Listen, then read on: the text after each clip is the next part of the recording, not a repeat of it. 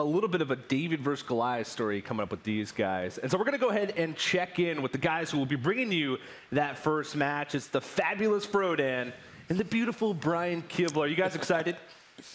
Incredibly excited, TJ. I don't even think that does justice for the emotion. Welcome, everybody, to the tavern. It is time to begin the Winter Championship. My name is Frodan. I am joined by Brian, Brian Kibler Kibler of Brian Kibler Gaming. How you doing, Brian? Welcome to the Bahamas. I'm doing great. You know, having a wonderful time here in the Bahamas, you know, out on the beaches. But I don't know if I can go out and be blinded by this jacket. It's brighter than the sun, I think. But well, uh, no, it's been great. Glad you brought your sunglasses, and I hope you guys have packed your bags because we're definitely in for quite a ride for this weekend's matches. We have four days of Hearthstone action. Today, we're going to be doing eight matches, all best of seven. So we've actually expanded how we're actually doing the format for this tournament, Brian. Yeah, it's going to be a, uh, a, a, long day full of some great Hearthstone. Uh, we're going to have the uh, the quarterfinal matches, or rather the, the group matches, and then the uh, the uh, upper bracket winners matches and the uh, the deciders for those uh, those matches. So lots of important games of Hearthstone going on today. And the first one will be B787 versus Frozen. That's right, a clash between Asia Pacific and the Americas. And remember, this is the first time all year that we've had global competition, something that's unprecedented in the championship tour. If you watch the previous years, we had every region play separate of BlizzCon. And BlizzCon was when China, when Asia Pacific, when Europe and America could all come together and prove who's on top, at least for this metagame and rotation. Because we are looking forward to what's coming up, but we are going to close out Mean Streets of Gadgetzan with a bang. And of course, the Year of the Kraken. Who's going to be able to have the final say here, Brian? Yeah, and this is going to be a really interesting matchup. The, these two players have very different both sort of backgrounds as well as styles. Uh, Frozen is known uh, as a player who is playing a, a, lot of control decks, or rather a lot of combo decks very, very well, whereas B787, on the other hand, as we see on the screen, uh, he's very, very dedicated to playing control. Uh, he actually told us that he was inspired by watching fellow Japanese player Matsson last year at the Winter Championship, uh, and that brought him to play in tournaments. And Matsson was very well known for playing Control Warrior, and B787's lineup, that is all control decks. He, he even said he'd rather play control decks and lose than play other decks and win. He's that dedicated to that style of play. Yeah, absolutely astounding to see Reno Priest being brought to a tournament. I'm sure Brian's very excited oh, yeah. as a Reno Priest specialist himself. We can't get underway soon enough, but we're going to head over to TJ, Raven, and Sottle to get our first words for this opening match. Thanks very much, guys. And I think the big preview that you gave there is that this is the first time that all four regions will be competing for a seasonal championship. And it really begs the question, which one's the best region? And uh, I know your guys' answer, uh, but we had the chance to uh, talk with the players and get to know their thoughts on which region has, has bragging rights coming into the Winter Championship. And uh, let's go ahead and take a look on this edition of Observe and Reflect. Observe and Reflect. Best region is APAC. Americas is the strongest region. China is the strongest. European region is the best. There's way more top players. China has LVGE and Omega Zero. They are very strong. It's the Americas region hand down. We are the best region. Our talent is talent. It is the cream of the crop. Although America has a lot of top tier players, I expect Europe to do the best because I'm here, of course. I think Europe is the best, but America and other regions are definitely catching up. I would have to cheer for America because Frozen, Tarei are really great players that I respect a lot. I feel that there aren't any exceptional regions that stand out to me so far. But I think it's definitely about the players and how few mistakes they make. Different regions have different archetypes of decks. I know a lot of Asian players play really unique cards in their decks. Europe and America, we just play the decks that are the best course I'm going to say the Americas is going to do the best. But if one of us gets out, I think we might let a European player slide through to the top four. Observe and reflect. Lots of differing opinions, different words from these players. But Sottle, I'm going to go ahead and ask you, which region's the best? I don't know why this is even a question. Europe is the best region free. We have the strongest representatives here. We have the strongest representatives in general. We have two European world champions. Like, how is this even a question, TJ? Raven? What he said. Fair enough. Fair enough. Uh, but this is the first time, the way the groups work out, that we could have four participants in the World Championship coming from winner from the same region. We could have four European representatives come through right. this tournament. We could have four America's representatives come through this tournament. Oh. Anything can happen. Anything can happen. Uh, but we'll see. The first one is going to be the Americas versus Asia Pacific. And it's time to introduce the players for our very first match. Coming up first, from the United States, he's the combo deck master. It's Frozen.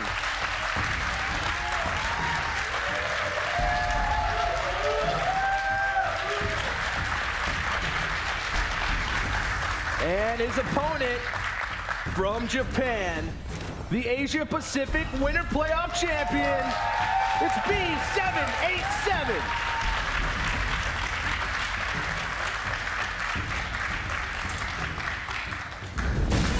It's go time! B787 versus Frozen! For my group, I think I just absolutely nailed it. Looking at like the deck lists, Frozen was the player I didn't I didn't want to play the most, and he's my first opponent. I don't think he's a bad player by any means, but his lineup versus mine is pretty much unwinnable. I, I'm done. I feel like I'm one of the best players in this tournament, and I have the lineup to win. Just being the underdog and like having nothing to lose is a better position for me to be in. I just want to be myself uh, when I play the game. Yeah, very confident. B787 versus Frozen! Let's see what you got! A clash of East versus the West. Frozen versus B787 coming up for you guys. And not just any kind of East versus West, too. It's Japan versus America, a rivalry that's been long dated in history of card games. Welcome, everybody, to the Tavern. My name is Frodan, joined by Brian Kibler once again. And we will be bringing you this best of seven Conquest format for the opening match of the Winter Championship. Brian, these two players have a lot of opinions on their lineups. In fact, Frozen feels like he is the overwhelming favorite, 80 20 to win this match. Yeah, this is really interesting because in the quarterfinals of the Asia Pacific playoffs, it was B787 who was actually in a very similar position. He was the massive favorite versus uh, an opponent who was felt to be a huge underdog. He said then that that felt like a huge pressure on him because it was it was kind of his match to lose. There was so much riding on it for him, and he felt like things could go wrong, and everyone thought he was a huge favorite, but he wasn't quite so sure. That was an incredibly close match, one of the, the sort of most exciting matches we saw throughout all of the playoffs. So we'll see if he can have a similarly uh, powerful result in this one. Yep, we're going to start things off with mid-range Shaman from B787. Not to be confused with the Jade Shaman. It's got classic mid-range cards that you've come to expect, including a special cameo by Al'Akir the Windlord. Uh, Frozen's going to be playing a Miracle Rogue featuring Barnes. One of the most interesting thing about Rogues in this tournament, Brian, is the second most represented class behind Warrior, and a lot of the Rogue deck lists differ between every single variation. Yeah, there's a bunch of different Rogue decks. There are Miracle Rogue decks, like the one that Frozen is playing. Uh, these decks tend to be uh, the strongest against slow control decks, which is most of what makes up B787's lineup. Uh, but there's also the Water Rogue, the Finja package Rogue decks, as well as even a Stealth Rogue uh, featuring the Shadow Sensei. But it will be Miracle Rogue we see Frozen piloting this game, and pretty standard Miracle Rogue start of nothing into Dagger Up. Yeah, this is a very slow start for Frozen, but nothing to be too worried about considering that he has really powerful tempo plays available into his hand. He's got two backstabs of how he wants to distribute his damage. And of course, Edwin Van Cleef, one of the most threatening cards uh, for the early game. Uh, however, B787, he's got some of those answers. Hex, even on Tomb Pillager, can be very uh, big swings for this matchup. Yeah, B787 also uh, with the relatively strong proactive start of the Totem Golem, and then as you mentioned, the pair of hexes really looking to potentially stymie what Frozen ha has for his own offense. Uh, that said, if the game goes long, it will actually be the Gadgetzan Auctioneer. We see it in Frozen's hand right here. That's the key card. That's the card that Frozen's looking to build to, to allow him to chain a number of spells and keep drawing additional spells, and just get a massive resource advantage over B787. Frozen, of course, stuck in a position where he doesn't have a clean answer to the Totem Golem, which is one of the most powerful cards you can have in the early stages of the game. Uh, and B77 also taking a slow. You know, he had the opportunity to utilize the coin the previous few turns, but choosing to save that for a rainy day because Overload can be problematic as the game develops. And Frozen wants to lock up B787's future turns. He's using Sap on the Totem Golem, which is a very unconventional use. Uh, especially if they're not playing aggressive strategies. What do you think about this, Brian? I think some of this is also recognition of how Frozen is planning to use his mana over the next few turns. He has the Tomb Pillager that he wants to play on uh, on this turn, and then you know potentially he wants to have the ability to maybe backstab Edwin and you know use an additional card that he's drawn uh, on, on, a future turn as well. Uh, that basically lines up his mana very well in terms of the expenditures here uh, and doesn't allow B787 to get that pressure, which threatens to cut off Frozen's turns to, to build up to the Auctioneer. Now, B787 has access to up to four mana this turn. We mentioned that Hex earlier uh, is one of the most powerful tools against Rogue, primarily because even denying the coin uh, is important, but more importantly, Rogue never gets the board. one of the, the big advantages Rogue has is it can leverage board to end the game in two turns. Frozen being able to draw a four mana play or Azure Drake would have been very huge, and we'll see what has, happens off this bar. All right. And there's a lot of good options here. That's that's not a bad one. Wow. The the tomb the tomb pillager here with the death rattle will give Frozen an additional coin when it dies. Uh, that will give him more fuel for the Gadgetzan Auctioneer in those additional turns where he's building up resources. That's super important, not just because of the fact that he has Auctioneer, but you know, what if he wants to go for a big Van Cleef? He saw one Hex being used. Mm -hmm. It's very unlikely that your opponent has a second copy this early into the game. Perhaps Frozen chooses to go a little bit more aggressive. We'll see. He has to evaluate his hand. For now, B787 very calmly removing because he knows that he's the control deck in this scenario. I think that B787, yes, he has to play control, but at the same time, he needs to be putting pressure on because Frozen just got an extra coin. He has a very full hand of cards. You know, he could very easily start uh, very soon going off with that Gadgetzan Auctioneer. He could even play it this turn if he wanted to. I think he's going to play it a bit slow. There's not much pressure on him, so just giving himself the opportunity to build up more resources. And I, I, really like this from Frozen. He's not going nuts and investing a ton of resources in terms of building up a, a giant uh, Edwin Van Cleef. He knows that B787 has access to Hex. He knows he has a lot of removal that can take out big minions, uh, especially with a minion already on the board. So uh, just building up those resources, getting to that Auctioneer turn. There's several ways for B787 to remove this. I think it, the priority is, again, building board pressure, because one of the things he hasn't been able to do is start – pressuring the Rogue's life total. Rogue does not have access to healing in its class, doesn't have access to taunts, unless you put them, of course, from the neutral card pool. And as a result, if you're able to put up some mounting pressure with things like Jinyu, with things like Azure Drake, you're able to actually start threatening to end the game, and they have to be the one to swing it back. Yeah, and B787 goes with the Flame Tongue, allows him to remove the Edwin Van Cleef and develop a bit more uh, threat on the board as well. Uh, this does give Frozen a good opportunity to start going with his Auctioneer Backstab, though. Yeah, there's a lot of draws. So many cheap oh. zero to one mana spells. Conceal is pretty good, but we do know that Azure Drake needs to be removed primarily because of the double Maelstrom Portal or even just Lightning Storm possibility. He has the, uh, the, the preparation here. He has a coin here. He has a lot more to dig. Uh, not to mention, he just has the uh, the dagger waiting that can at least remove Okay. Oh, so he's actually not going to be able to take care of the Azure Drake. Well, well uh, for now. He's using right. Cold Blood just to cycle through his deck. Still not hitting any kind of removal. Yeah, he, he could prep, but he has five minions in his hand. He'd have to hit Fan of Knives, perhaps hit Eviscerate to be able to clear off this board. And this is the strength of what B787 did the previous turn. You know, he, he put his Azure Drake onto the board, knowing that his opponent had that coin from the Barnes Tomb Pillager activation, and saying, if their opponent has a good Gadgetzan turn right now, I need to have Azure Drake on the board, otherwise I would have to get fortunate by using all my AoE or getting a spell damage totem. And uh, there is the Lightning Storm, as you mentioned. Interestingly, B787 also has the two Maelstrom portals. He could have chose to guaranteed clear with double portal, uh, and leave himself with the uh, the Storm for later and develop more minions on the board. Also, now he rolls after. I, I, think that maybe he was he was trying to Lightning Storm and then be able to follow up with, say, a Jinyu for additional damage, but yes. he ended up he ended up putting himself in a position where he kind of had to waste a resource here. Yeah, I think he went for the ideal scenario. He's saying 50% of the time, I'm able to get the Lightning Storm for four, and then Jinyu Water Speaker my own Azure Drake, because mm -hmm. he just showed he doesn't have Eviscerate or easy ways to remove it this is my opportunity to get tempo. And as a result, he's very far behind the board now here. Yeah, he's now that Lightning Storm is gone, and he only has one Maelstrom portal. He doesn't have an easy way to clear off this board without investing additional resources. He could use the Maelstrom portal and Flame Tongue and be able to, to clear off both things here. Uh, he also has the Jade Lightning, uh, in addition to, say, Maelstrom Portal or Flame Tongue that can clear off as well. And yeah, he's going to go ahead and use the Jade Lightning. This does allow him to develop more to the board. Uh, and interestingly, the result from the Maelstrom portal being the Mistress Mixtures does mean you know, that little bit of, of chip damage that uh, B787 has been able to get in, now it's gone. He's just healed up Frozen for four. Hey, you know, Rogue will take it. We don't have much healing, so even four health can uh, be very useful. That Fan of Knives also looks very nice uh, in Frozen's hand because he has the abilities with Bloodmage Thalnos or Azure Drake to pair together and remove a lot of the board. What's on the priority list here for Frozen, though? Because you know it has been relatively slow. Not much action in terms of hmm. pressuring the game, which is what Rogue really wants to do.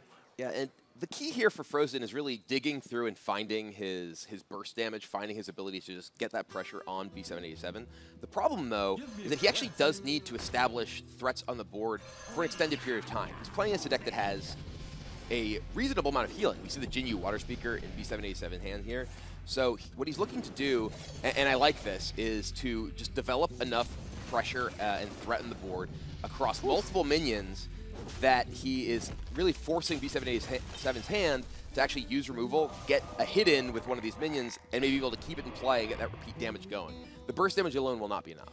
Yeah, so Hex immediately comes out from B787 hands. He's, he's saying, let's get some one thing straight. I'm going to Hex this questing adventure way too threatening. His follow-up plays, he does have a couple of other options at his disposal. A little, a little bit rushed, you know. You, you do want to sometimes take your time to think, but I think we can agree that hexing that minion was one of the utmost our priorities. Oh yeah, the uh, questing adventure can just get absolutely out of hand. I mean, people even call this questing rogue, not even necessarily miracle rogue, because questing adventurer is such a key element in terms of your uh, ability to to win games, uh, even compared to Gadgetzan Auctioneer in a lot of cases. Conceal is a reasonable draw, but at the same time, he doesn't really expect there to be addition, much additional removal from B787 because he's already seen uh, his Tomb Pillager live through a turn. So what he's really afraid of here is uh, B787 finding additional area effect to clear off more of his minions. Which is what B787 has set up for. He has the Azure Drake and the Maelstrom Portal, so he has successfully baited Frozen into it. Pit Snake not exactly uh, the most resilient minion against the Rogue Dagger. And Frozen has opportunities to win back the board, but one thing to consider is how many threats remain in Frozen's deck. Right. Because he needs actual minion damage to close the game. He does have Leroy and Coldblood and Conceal, one of these ways to all in, so to speak. But I think he has one more threat remaining in his deck. I believe it's one questing adventure. I believe the questing adventure. He does have Auctioneer number two, I believe. That's uh, true. Though, It's- it's which which is a minion, but it's not really uh, it's not really a huge threat in its own right. So what B787 could be doing is just trying to play a survival game. And, and look at Frozen. He's saying, my hand is telling me to be aggressive. I My opponents used two Maelstrom Portals and a Lightning Storm. This Leroy has a very high chance to, uh, to, to live at this point. And your opponents also used a couple of his taunts. Feral Spirits, the only copy in the deck, has also been used. Yeah, and this is, I think, Frozen sort of recognizing, okay, I'm in a rough spot here. B787 is going to have the board. I need to just try and get the job done now. And you know, he's done 13 damage here. Uh, but I believe with that Bloodlust in B787's hand, he doesn't have very much time. There's 6, 7, 8 on board plus 12. There's 20.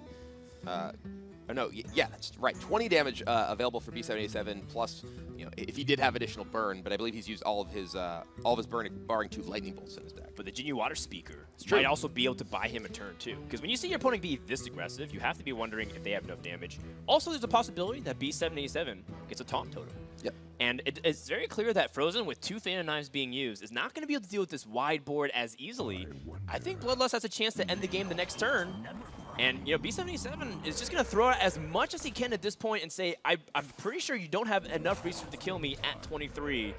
No taunt totem, so right now Frozen's a little short. Yeah, and uh, he's B77 has also seen both copies of Fan of Knives, so there's a very good chance these uh, wide board of small minions get to stay. And ooh, classic air draw from Frozen from the Rogue here. Uh, he is really looking for something big, and counterfeit coins certainly is not it. There wasn't much card, there are many cards remaining in Frozen's deck. You mentioned the Auctioneer being one of them, but another questing adventure. But any of those would not have been enough. He is short by six damage this turn. Yeah, for those of you who haven't seen some of our recent weeks of HCT broadcasts, you can actually see the cards remaining in the player's decks with these counters here. So only five cards left in Frozen's deck here. As you were mentioning, not many of them very powerful, but what is powerful is Bloodlust. It gives a huge power boost to B787's board, and that is game one going to the Japanese player. Huge win for B787. He mentioned all throughout the weekend in his own piece, he said, I am a huge underdog. I have nothing to lose. I am the one that's not favored at all. Frozen has the anti-control lineup. And guess what? B787 happens to bring an all-control lineup. Three Reno decks. We'll see if he's able to follow up on it, but B787, he's got a lot of room to go. You know, it, even if he's getting this first win, it's a best of seven, anything can happen. Yeah, this, these are you know long matches here. We have best of seven uh, means that yes, he got through with his shaman deck, but I, I, think that his shaman deck is sort of the least controlling of his lineup. We saw he was able to take a pretty proactive stance in, in the middle there, uh, which allowed him to close out the game with Bloodlust, a very good card in a lot of these matchups where you need to put your opponent on a clock. Yeah, well, uh, B787, the APAC Winter Champion, has had a memorable run through the Hearthstone Championship Tour. His introduction to the big stage was certainly memorable. Here's why. It's probably the best moment of my life. By the skin of his teeth, B787 gets Biologium to book his ticket to the Bahamas. the quarterfinal match in the APAC Winter Playoffs. It was like my first ever big tournament, like on camera and all that. He is clearly so stressed out. I was actually very nervous going into the game against Belgium. Everyone was telling me I'm so favored. That was like, that was just so much pressure, and I was like so nervous, and I basically made a lot of mistakes. This is just a nightmare for B787. Bahamas was on the line, and like I'm playing against like a really famous player from Korea. So like, yeah, I just wasn't myself. And now we're at a tied series, yeah. Brian, putting B787 under a lot of stress look, here. Look at him. He's clearly shaken. That game, it, it was so crazy. I can probably like recall every single turn I did still. Oh, and there's the Jade Lightning. I top decked uh, Jade Lightning. And if I didn't, didn't get that top deck, I would I would I would have been dead, like 100%. He played a Dirty Rat. Oh no, Roja once again! so close. Oh my god. I was like, oh my god, I'm gonna win. I was like, oh my god, how is this even happening? Congratulations to B787. Boy, did he make it dramatic. That that was crazy. I'm so I'm so sorry. There's just so much stuff. Getting so far in this game means a lot to me because I spent so much time playing it. And I dedicated a lot of effort into it. The APAC Winter Champion hasn't been playing tournaments for very long, and that usually is a pretty healthy sign for players who feel like they have nothing to lose. With pressure on the big stage. Sometimes it's hard for players to digest if they're new to the tour. But B787 does, you know what? I feel like uh, I can play very free. You know, I don't feel like, I feel like the burns on Frozen very similar to how he was against Roadrum. Yeah, kind of the opposite. Like we said, we saw him talking about how he was such a big favorite in his quarterfinal match to get here to the Bahamas. But now he's the underdog, and he's ahead in the match for now. Of course, we know that uh, anything can transpire in this best of seven. We're going to go to Reno Mage versus the Miracle Rogue. Frozen's going to stay put here. Uh, now he's got some really powerful cards, and the Reno Mage versus Rogue matchup has a lot of debate behind it, Brian. Mm -hmm. Yeah, the uh, the Reno Mage versus Rogue, a lot of it really hinges on uh, particular cards. One of the strong cards in the matchup is certainly Conceal. Uh, because if you were able to establish, say, a questing adventure, which is one of the reasons people call this questing rogue, uh, and then conceal it, you can get huge chunks of damage in. Uh, and that can be very difficult for the mage to deal with uh, with their very limited non-damage based removal. Essentially, they have polymorph. If you're able to get a questing big enough to deal with your questings and your Edwin Van Cleef. Uh, that said, if the game goes long, there are so many powerful tools in the Reno Mage deck uh, that can make it very difficult for the Rogue to win. You can quite literally kill every damage source in their deck if you get the right tools. Yep. It, the logic applies to, to the same of a lot of these board-centric power decks. You look at Tempo Mage, you look at the Questing Rogue, and, and the theme is very similar. It's if if I remove all of their threats, they can't win the game. Mm -hmm. uh, they're, they're going to draw so fast that they'll have no chance to win in Fatigue. So if the Reno Mage draws all the removal pieces and make sure to line that up, they're in a good spot. Uh, Frozen tosses the first questing adventure out very loosely, just sends it as a 2-2. That's that's a very interesting play here from Frozen. Yeah, and I think that's uh, has something to do with the texture of his hand. He views that he's likely to be using all of his mana over the next several turns, uh, and kind of forces B787 to have it. He is playing against a Reno deck. And there are, you know, lots of hands where he may be forced to use a premium removal spell like Frostbolt or Fireball or Polymorph to remove that Questing Adventurer, and Frozen didn't want to just have a dead turn on turn three waiting for his heavier drops. All right, so here's uh, some of the big important questions. Is it worth denying a coin from your opponent? Uh, this Tomb Pillager certainly is threatening just by its own body, but the, the Death Rattle effect is sometimes just as good as hitting your opponent for 5 damage. Yeah, this is one of the things that can really uh, put a lot of pressure on the Reno Mage. Not only is the uh, the Tomb Pillager a sizable body, but there is, as you mentioned, the, the value of the coin thanks to Gadgetzan Auctioneer.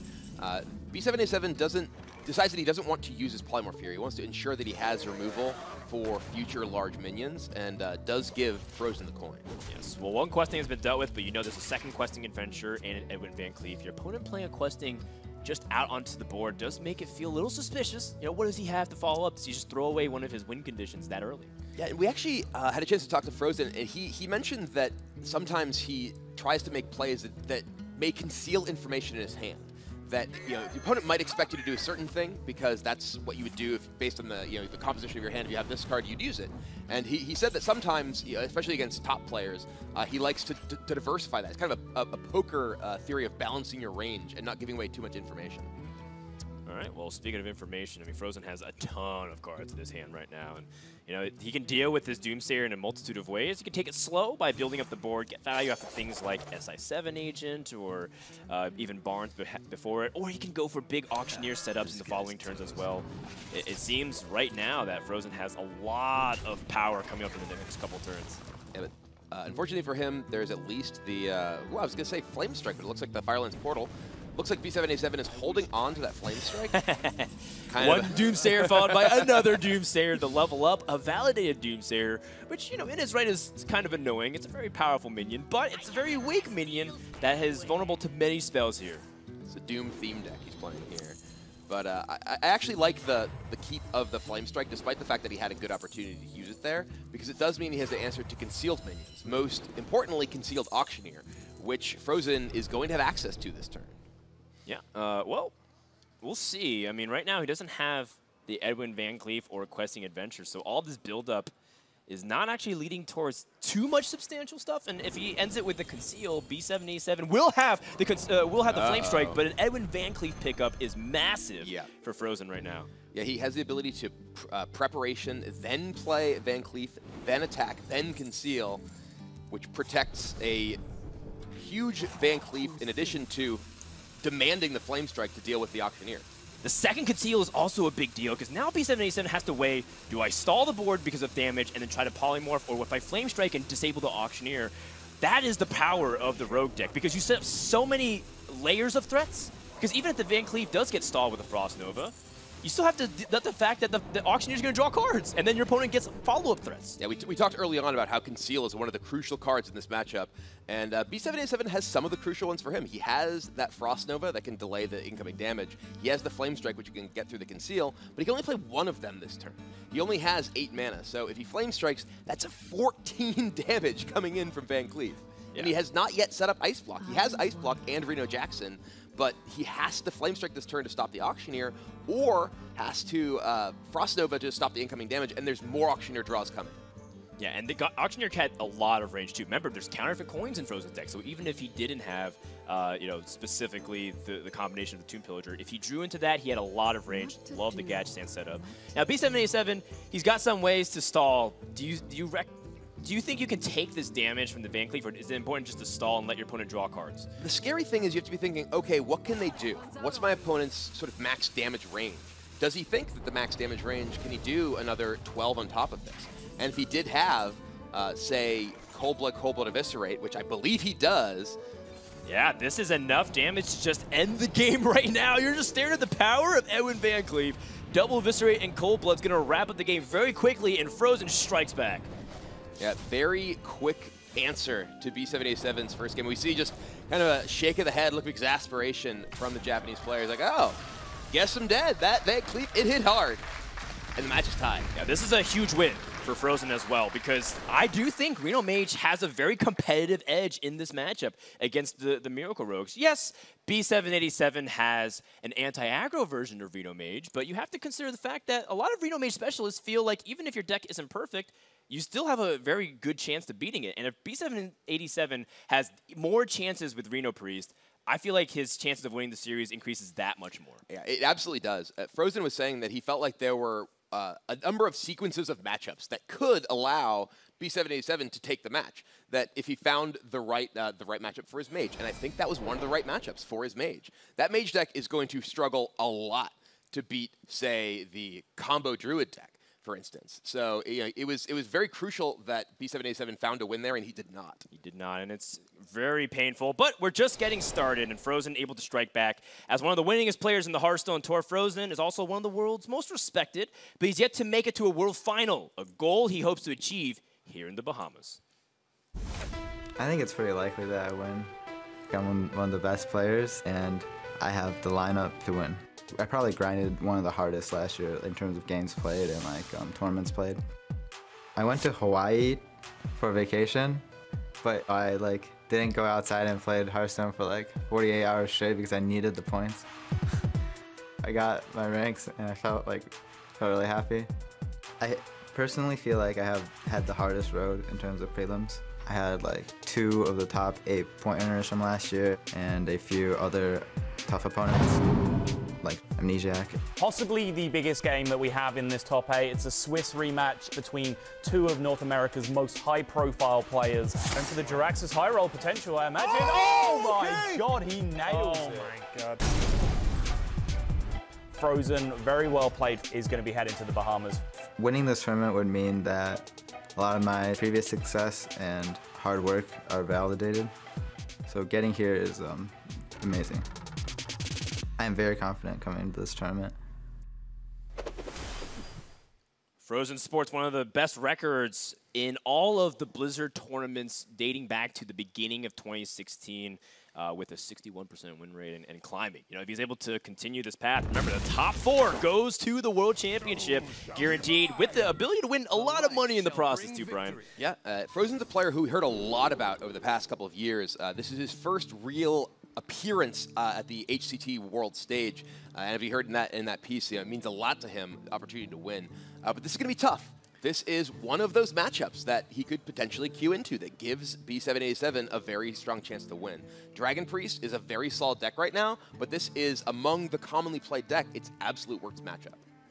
Yeah, uh, you know, you know, you say that, Brian. However, my opinions start to change a little bit depending on the deck list. True. I think there are some things that do help both make the Reno Warlock matchup worse and the Dragon Priest better simultaneously. One of them, of course, is the fact that B787 is not nearly as threat dense. He doesn't have things like Mountain Giant, for example. Doesn't have a Shadow Flame package with Sylvanas, and that's going to make it really difficult because you don't have that ability to get crazy tempo through Mountain Giant and then Faceless Shambler. It's true. B787 is a playing a bit of a lower curve version of Reno Lock. Uh, he even has the Bloodsail Corsair plus Patches package uh, to give him a stronger matchup against other aggressive decks. Uh, but Frozen, this is a lot of air in his hand. That was interesting, his Mulligan decision. He actually threw away uh, two different three drops as well as a North Northshire Cleric. I like mulliganing Cleric in the matchup because it doesn't do that much, but I'm curious as to the decision to mulligan that entire hand. Well, he does have something to play as he, Twilight Whelp is better than nothing. You want to get that early chip damage in because one of the big power positions that Dragon Priest can get in this matchup is, you know, very similar to Rogue, actually. It's the fact that, as, or Shaman, even if you remove the Dragon Priest board, they just play a couple more threats, threaten 10 to 15 damage, and you're stuck exactly in the same position. Do you want a Twisting Nether 2 to 3 minions? Mm -hmm. Not really. Uh, but if the Dragon Priest can loses the board, Reno Warlock can swing it no matter how bad it gets, because if they get a clear Jaraxxus and get ahead, Dragon Priest won't kill him. Yeah, one pretty crucial card in the matchup that B787 is not playing, however, is Shadow Flame. And the, uh, as you mentioned, the, the priest's ability to develop large minions and, and a large number of large minions on the board is really its strength. And generally, the Warlock's strength is to clear that. Uh, but B787 has a little bit less of the uh, the board clear with the lack of Shadow Flame, uh, so that could swing the pendulum a little bit back toward Frozen. I'm kind of wondering if B787 still feels relaxed, as he has mentioned to us several times throughout before the tournament started. Got to chat with us just about his mentality on the tournament. Is what he said. My biggest strength is just being an underdog. I have nothing to lose. I can just do whatever I want. And there's like no one that's gonna blame me for anything I do. So yeah. And you know, ironically enough, he's actually supposed to be the favorite in this matchup specifically. Reno Warlock does have, at least in theory, an advantage over the Dragon Priest because of how strong their late game is and because of Priest's inability to just directly close the game. But Dragon Priest, with the ability to get onto the board with things like Draconid Operative, not only also bullying the board, but also be able to get that reach by digging deep into the Reno Warlock's deck. And uh, the Hellfire is one of the things that you're often looking for when you are in the position of the Dragon Priest. One of the things that's most important uh, is finding ways to actually just kill your opponent. Finding ways to get those last points of damage in, which is something that... Oh! Wow. As my, my thought is interrupted by a, a huge draw for B787. Finds Kazakus with Brann already on the board. And uh, going to get some neat little potions here.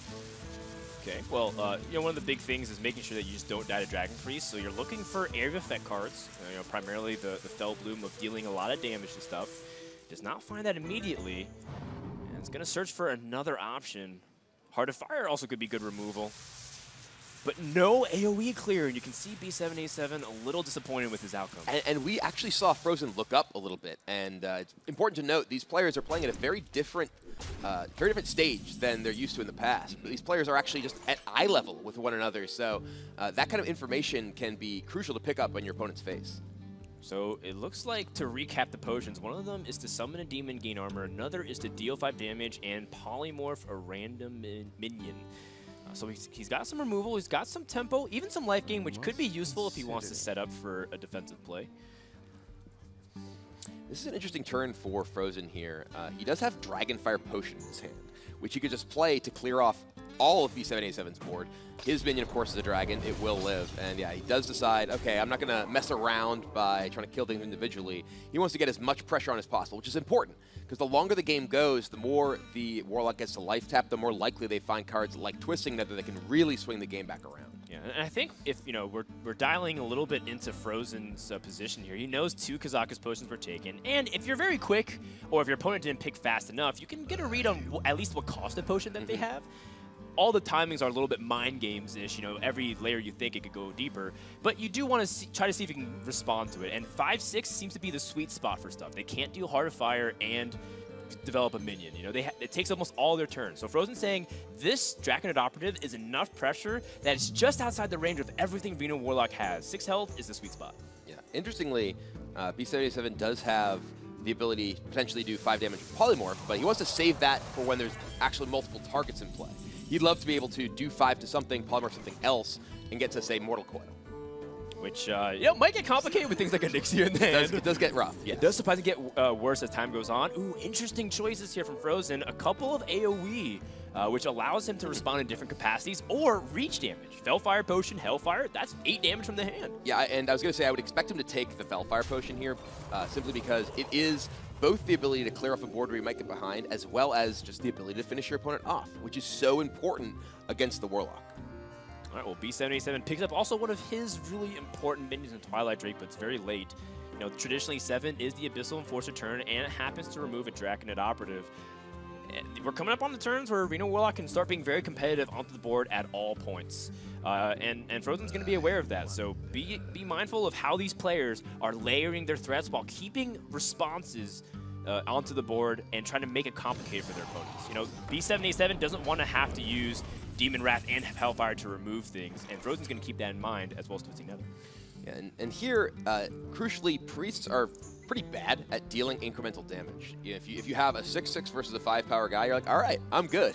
So B787, you know, despite having a just slightly bigger uh, minion than Frozen, is actually, given the matchup, in a fairly dominant position uh, with that 6-6. Uh, Shadow Word Pain is not what Frozen was looking for. Shadow Word Death would have been uh, fantastic.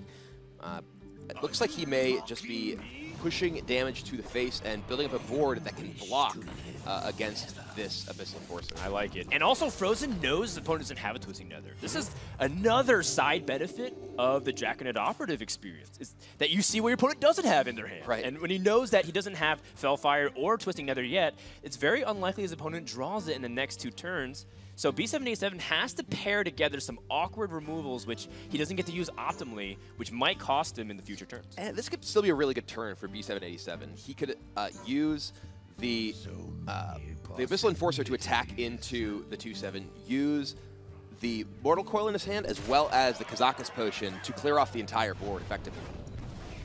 He'll leave just the 1-1 here. Yeah, it's exactly what he does do. Does 5 damage to the uh, Talon Priest, Polymorph, and it will be just a sheep remaining for Frozen from his board. Okay, well, pretty good response here from B787, but now it's Dragon Priest time to respond. Uh, there is Hellfire available for an easy clear, and you can actually put another really strong minion with the Azure Drake, or maybe the Twilight Guardian, depending on how Frozen feels like he wants to layer his threats. Remember, his opponent still hasn't used Shadow Bolt yet, so Azure Drake is a little bit vulnerable, but it is more mana efficient, which uh, also helps because Frozen now has finally dug into the Shadow Word Death, which is something that actually is very convenient because over the course of multiple turns, B787 has seen Frozen not respond with a Shadow Word Death when it was very convenient to do so. Maybe that ends up being in Frozen's benefit, because now he actually does have it, and B787 might not play around. Uh, very clean turn, though, from B787. Finds the max-sized Twilight Drake and Shadow Bolt, along with Life Tap, perfectly expending all of his mana. And now Frozen, he still has that Onyxia that he picked up earlier from the Historian. Powerful threat here, and yeah, it is finally time for the Daughter of Deathwing to come down. And that is pretty scary, at least, for B787. Finds Twisting Nether, though, so he can answer whatever he wants. Yeah, he's. I mean, Demon Wrath doesn't feel like it gets a lot of value against a deck that primarily prides itself on putting high health minions. so mm-hmm. this actually seems like a good opportunity. But what are you going to do beyond that? You know, you, you see B787 doesn't exactly have cleanest removal, and this this Twilight Drake, while it's great stats, doesn't actually contest the Onyxia body herself without cards like Blast Crystal Potion and Siphon Soul, direct removal from the Reno Warlock.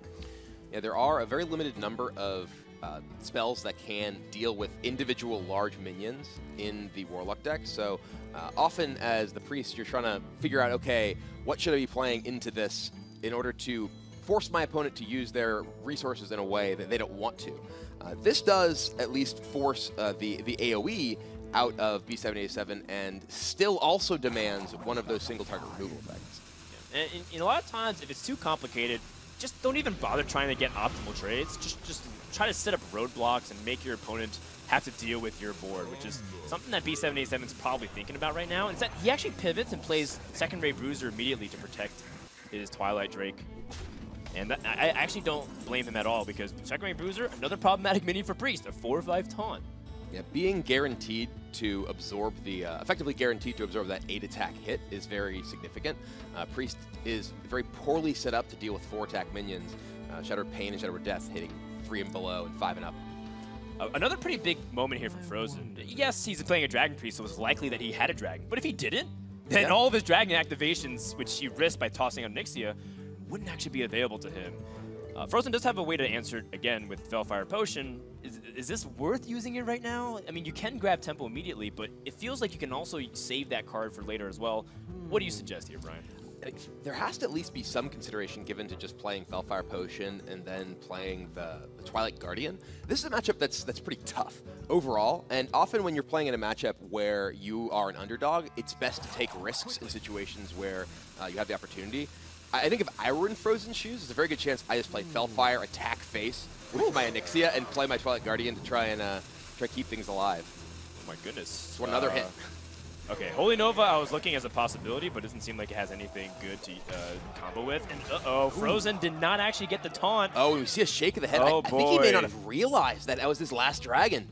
His face literally goes into his palm as he realizes what happened. Yeah, he was running out of time. The, the rope was kind of putting Frozen, nudging him, saying, you got to make a play, you got to make a play. And he forgot about the Dragon Synergy, and Frozen, devastated by his, his misplay in this position.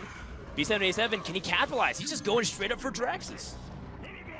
Yeah, and now, you know, just a two attack minion, no taunts. That board was not protected by the Guardian as Frozen had hoped. And B787 is definitely a strong spot. Okay, well, uh, it's not over yet. Frozen does have some cards that might be able to bail him out. I'm looking at Netherspite Historian as being one of those cards that can uh, get Frozen out of the situation. And he finds some pretty good answers. Uh, Ysera is a very big threatening minion. Can't play it this turn, unfortunately. But the important thing is that he has a dragon stabilizer. Uh, you know, sometimes you feel like you don't have uh, a dragon to anchor you. Bookworm needs to be played, but he also is a dragon himself to activate other cards. Uh, so Frozen's not out of it just yet. The uh, Bloodsail Corsair, the draw for B787, not what he's looking for in this matchup by any means. Uh, but you know now he's Jaraxxus. He has a lot of tools to uh, uh, continue to push his advantage every single turn, thanks to the hero power summoning uh, Infernals. And yeah, this will find patches with the Corsair here. Oh, that's right. We haven't seen patches all game long. That's that's that's huge. Being able to protect your board and making sure Dragon Priest doesn't get that extra range. And this is what we're talking about in terms of the Dragon Priest being poor at uh, dealing damage to the opponent's face. You, you can't really uh, finish him off unless he picks up, well, there's one thing, the Corruptor.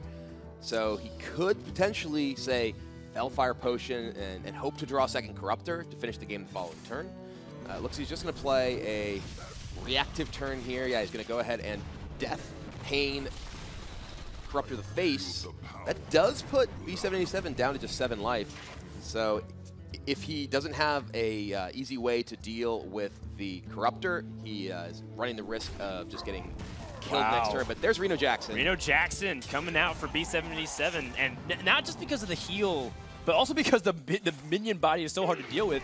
And B787 is looking for ways to kill his opponent. He has that power of overwhelming and a defender of Argus.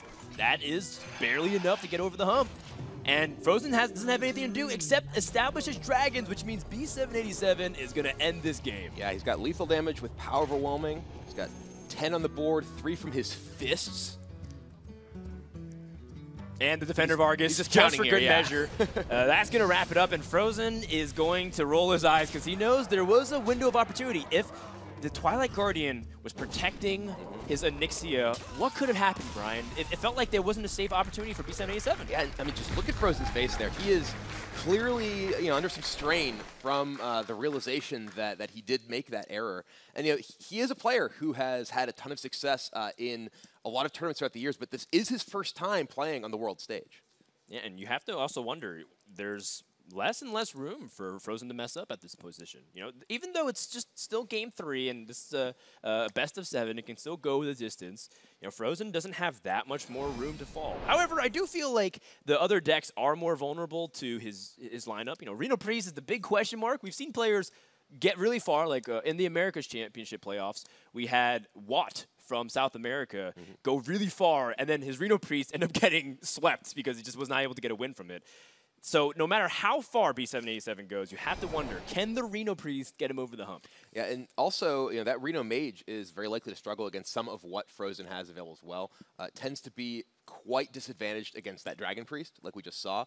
Uh, and there's, you know, still the, uh, you know, the rest of the decks are not any pushover for it either. Certainly, this best seven is just getting started. We have a big match coming up next. Can't wait to see what's going to happen. Greetings, my friends, and welcome to the Bahamas as the Hearthstone Winter Championship continues. X Hope versus Stanodachi. This is a live shot of X Hope as you can see him getting ready for his match, as well as being surrounded by his fellow China players, being able to get some advice. They're a very close, tight. They help each other a lot. They joke with each other, practically brothers at this point. Yeah, you know, we, we've seen a lot of the players uh, who may not have known each other really coming in, uh, kind of form camaraderie with a lot of the other players here. You know, we- we've actually been kind of hanging out with some of the the uh, players. We were playing some Werewolf in the hot tub the other night, so definitely uh, a crowd having a lot we- of fun. What happens in the Bahamas hot tub at the Melia Nassau stays in the hot tub of the Melia in Nassau. Please, Brian. Please. But yeah, we are uh, in this match. Frozen there, you know, definitely looking uh, kind of nervous. I think. Yeah, you know, we'll, we'll see. I mean, we're going to go to Mage versus the Druid. Now, this is the only Druid in the entire tournament that is not going to be Jade Druid. We have a Malygos one-turn kill burst deck. This is this is a combo deck at its core, and Frozen loves this deck. He thinks this deck is quite possibly his favorite and one of the most strongest decks that's in the meta. He actually thinks it's very underrated. Yeah, and this is uh, a deck that is particularly strong in, in this matchup. Uh, interestingly, right now, Reno Mage tends to struggle against most Druid decks that are out there. You know, Jade Druid tends to kind of just make too many big minions for them to be able to deal with. But this one uh, can make not only a bunch of big minions in a single turn, but also do a ton of damage in that turn as well. Frozen having a good hand too. One Mire Keeper in his deck lands it. uh, of course, that was following a Wild Growth draw too. So Frozen's got a lot of ramp coming up, and that's something you don't want to see as the Reno Mage, because you're stuck usually just being very reactive. And if Druid's not playing anything, and you're just being reactive, you're just going to be hero powering his face. Yeah, we see a, a quick choice from that Raven Idol from Frozen, picks up a Lunar Visions. Uh, this is a matchup where, like you mentioned, just looking to ramp out, looking to draw some cards, trying to just get to the critical mass of Aviana, Kun, and Malygos. But we do see the very key card uh, in B787's hand, the Dirty Rat. That is kind of his one real way to disrupt that full from-hand combo. Yes, and so he's going to have to pay very close attention to how Frozen's playing, if he can. I mean, Frozen's going a million miles an hour compared to his previous series. Yeah, roll the eyes there from B787 as yet another ramp effect comes out from Frozen. He's going to have six mana next turn. He could just Emperor here if he wants. Yeah, I don't see anything wrong with that. It, because, yes, you want to save it for a big hand, but one, your opponent has to deal with Emperor, and two, you discount things like Malygos, which playing a, a Malygos pretty fast out if your opponent doesn't have the proper response with Polymorph. Speaking of deal with Emperor, B787 cannot do it. Oh, you're right. He has a handful of minions and an ice block. That Emperor is going to remain on the board and discount even more cards for Frozen next turn. I'm thinking of a possibility such as if Azure Drake pulled a uh, Forbidden Flame, but it's not possible. You're right. Uh, and B787 is stuck in an awkward spot. And e even worse, you know, the situational cards that he brought to the tournament, such as Harrison Jones and the Reno Mage. Uh, doesn't even have a Warrior in his lineup. He's the only player not to bring Warrior or even Shaman. This guy's crazy. Yeah, Frozen actually, uh, we talked to him earlier, and he was he was saying that he had done like a lot of studying of the brackets and trying to figure out who he could get paired with based on his seeding. And B787 was actually someone who he kind of targeted. He was like, okay, I think he's going to do something very similar uh, to what he did in the playoffs and bring a anti-Pirate Warrior lineup. So he didn't want to bring Pirate Warrior off and uh, or at all and was seriously paid off. Speaking of paid off, this Emperor plus double card draw effect, if he wants to use the coin, that's going to pay off in spades. Yeah, he also has very clean removal and swipe to very efficiently remove and push damage, forcing your opponent to have Blizzard, uh, Volcanic Potion, or Arcane Blast to remove your Emperor again. Discounting Malygos to 7 mana with a follow-up of Innervate and Coin to give him the ability to have a wide range of spells. This is looking like the dream for Druid. Yeah, Frozen is still lacking the, the components of the one-turn kill, uh, being able to set up the Aviana plus Kun to play Malygos and then a ton of spells. But as you mentioned, discounted to seven, you know, he can certainly play a, a number of spells alongside it in the future here. Yeah, you can see that Frozen not really phased, even if Doomsayer makes him fall behind the tempo. Uh, Frozen actually talks about this a lot. We had a chance to sit down with him prior to the tournament. If I fall behind in a match, I think it's important to not get tilted, stop, think, play your turns out slower, and try to regroup. Wise words from any aspiring Hearthstone player. You have 70 seconds a turn. You know, sometimes you gotta take it, especially if you're playing a complicated deck like the, the Malygos one-turn kill with Aviana and Kun the Forgotten King. There's a lot of crazy stuff you can do in this deck. Yeah, the Frozen, he's still playing pretty quickly. It's very clear that this is a deck with which he is incredibly familiar. You know, he is uh, not, not really taking time to the rope for any of these turns, despite how complex the deck may be. B787 draws Reno Jackson, which by all means everyone knows Reno Jackson, one of the most iconic cards in the current state of the metagame, but not that useful in this matchup because your opponent is going to go for everything in one turn, and Reno Jackson can only heal you to 30 health maximum. Reno is still pretty valuable in this matchup when he does have Ice Block, and we see Ice Block in his hand as well. So B787 can potentially set up so he's able to withstand the one-turn kill, and then if he does have, say, Reno plus a Polymorph to remove the Malygos the following turn, it can certainly help him get back into the game, but it can still be tough. Yeah, because a lot of times the ideal combo is you're playing Aviana first, and then Kuhn, and then you have this giant board. B787's playing Archmage Antonidas for tempo to just try to stabilize and Frozen has kind of like a build your own Malygos uh, crew here. He's the motley crew of spell damage, where he's got a lot of, uh, uh of ability to remove this Antonidas any way he wants. Yeah, he's got three spell damage already, so those are five-point living roots. But worth noting that because he is playing the Malygos combo deck, he very much wants to hold on to all those burn spells because he does have Malygos in his hand. Uh, he may just use the living roots here plus a minion to kill this. Yeah, looks like he's going to living roots plus attack and maybe attack it in his face as well. Aviana, part of the combination. And with Aviana, you actually don't need Innervate really anymore. I mean, you already used a lot of the spells too. I imagine that Frozen's going to try to go for the dominant position on the board with, uh, because that's where Reno Mage struggles in many matches. Right. You look at Dragon Priest, uh, you look at Jade Druid. What do they all have in common is that Reno Mage can't remove all of their threats at one time. Flame Strike's usually their best. So if you're able to go for a huge swing with Aviana Kun, Malygos, sometimes that's enough. Yeah, absolutely. You don't need to actually kill them in one turn. You just put so much stuff in play at one turn uh, that, that, unless they have a Kazakus potion, they essentially have no way to deal with it. B787 can't even deal with these Drakes very efficiently. He's got to fireball one of them and, and just got to let the other cope. Maybe maybe this is the timing to start considering Dirty Rat in some capacity, but the, the risks are very high. You can't remove everything. You only have a fireball. So yes, you can remove perhaps Aviana or Kun. All right. Oh. All right, it is Aviana. So that does protect B787 from the full combo, but uh, Malygos by itself is still extremely strong. Uh, there's no polymorph available to B787 right now. Which a lot of burn. Hold on, how much Frozen? He may damage is this even right yeah, now? he actually he has plus two spell damage already, so he'll have seven spell damage uh, along with the Malygos. He has Living Roots Moonfire that he can actually just get to face right now. So that's uh, what uh, three plus twenty-one. It's twenty-four damage, I think. I, thi I no, think. you, I'm, I'm adding it three times because I'm thinking, I'm thinking of three living roots. So it's, it's actually three plus 14, so it's 17 damage. If he, he with Feral Rage too to help him get past Taunt or add damage, he might be able to piece it together. It's actually really tricky. He's just going for a Raven Idol immediately. Maybe he can find another Moonfire. Mulch, does that help him too? Because I mean, he's got a lot of damage to follow up. He, he might not have enough mana to do it. Okay, so Mulch is three, so he removes the taunt, goes face for eight.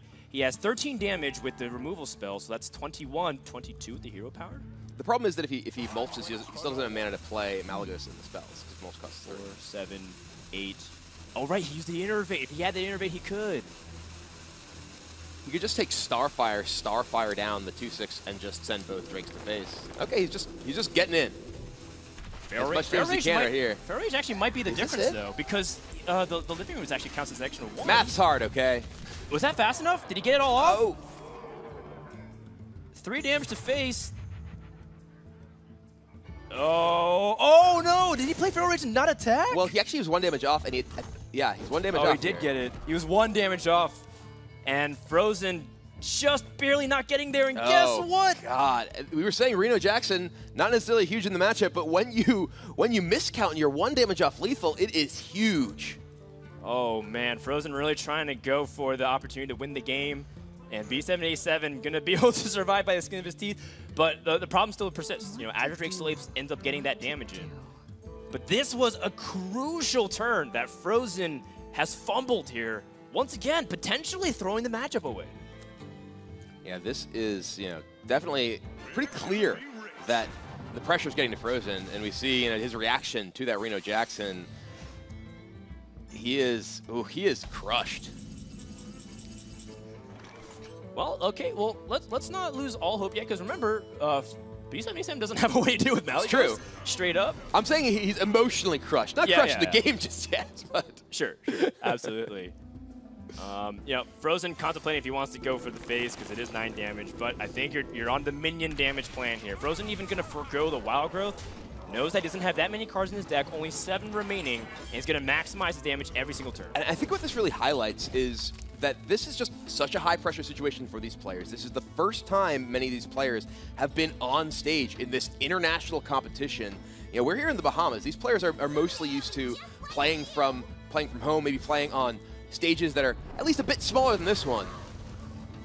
Yeah, uh, well, you know, the Malygos hasn't died yet, but both swipes have been used, both Rats have been used, both Living Roots have been used. There's only, I think, a Moonfire remaining in Frozen's deck. He's going to draw pretty much the remainder of it. Gadgetzan Auctioneer might just be minions. Fandral is, is just a minion at this point. Uh, Frozen needs to optimize his damage. The good thing, too, is that Reno Mage has almost no cards remaining. Frozen's just going to have to do this the good old-fashioned way. Classic Hearthstone, minion to the face. Just grinding him down. With you know also the fact that if B787 can't remove all the minions, he's just gonna get get pressured out. He gets a Blizzard. Uh, Blizzard can help stall. It looks like B787 is raising a hand to talk to uh, one of the admins, perhaps. Looks like maybe a technical issue that he's looking to deal with. Uh, we're trying to figure out what's going on here, but but yeah, as you mentioned, you know, this is a very difficult situation for Frozen to get out of with very few cards remaining in his deck. You know, Three. yeah, B787 does pick up the Blizzard, and he could stall the minion damage at least, heal himself back up a bit with Refreshment Vendor, but Frozen does not have much remaining.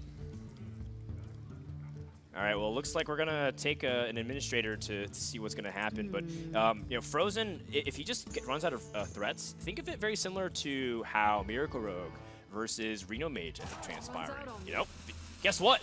Mage still has half their deck remaining, and you have zero cards, so they're gonna win the fatigue game, even if you're hero powering them every single turn, especially if they have any taunts or heals remaining in the deck. So it could be one of those situations where. If we're gonna, if we're getting to that late stage of the game, Frozen's out of options. Uh, doesn't seem like we're being able to get B787 into the game, though. This is quite unfortunate because I feel like he was almost there. Not guaranteed because we actually see Frozen draw an Ancient of War. This was a really close game, Brian. Yeah, you know, I'm, I'm really, really sad that we're not going to see the conclusion of this, but we are going to get into the game once again uh, momentarily once we figure out what the technical issues are.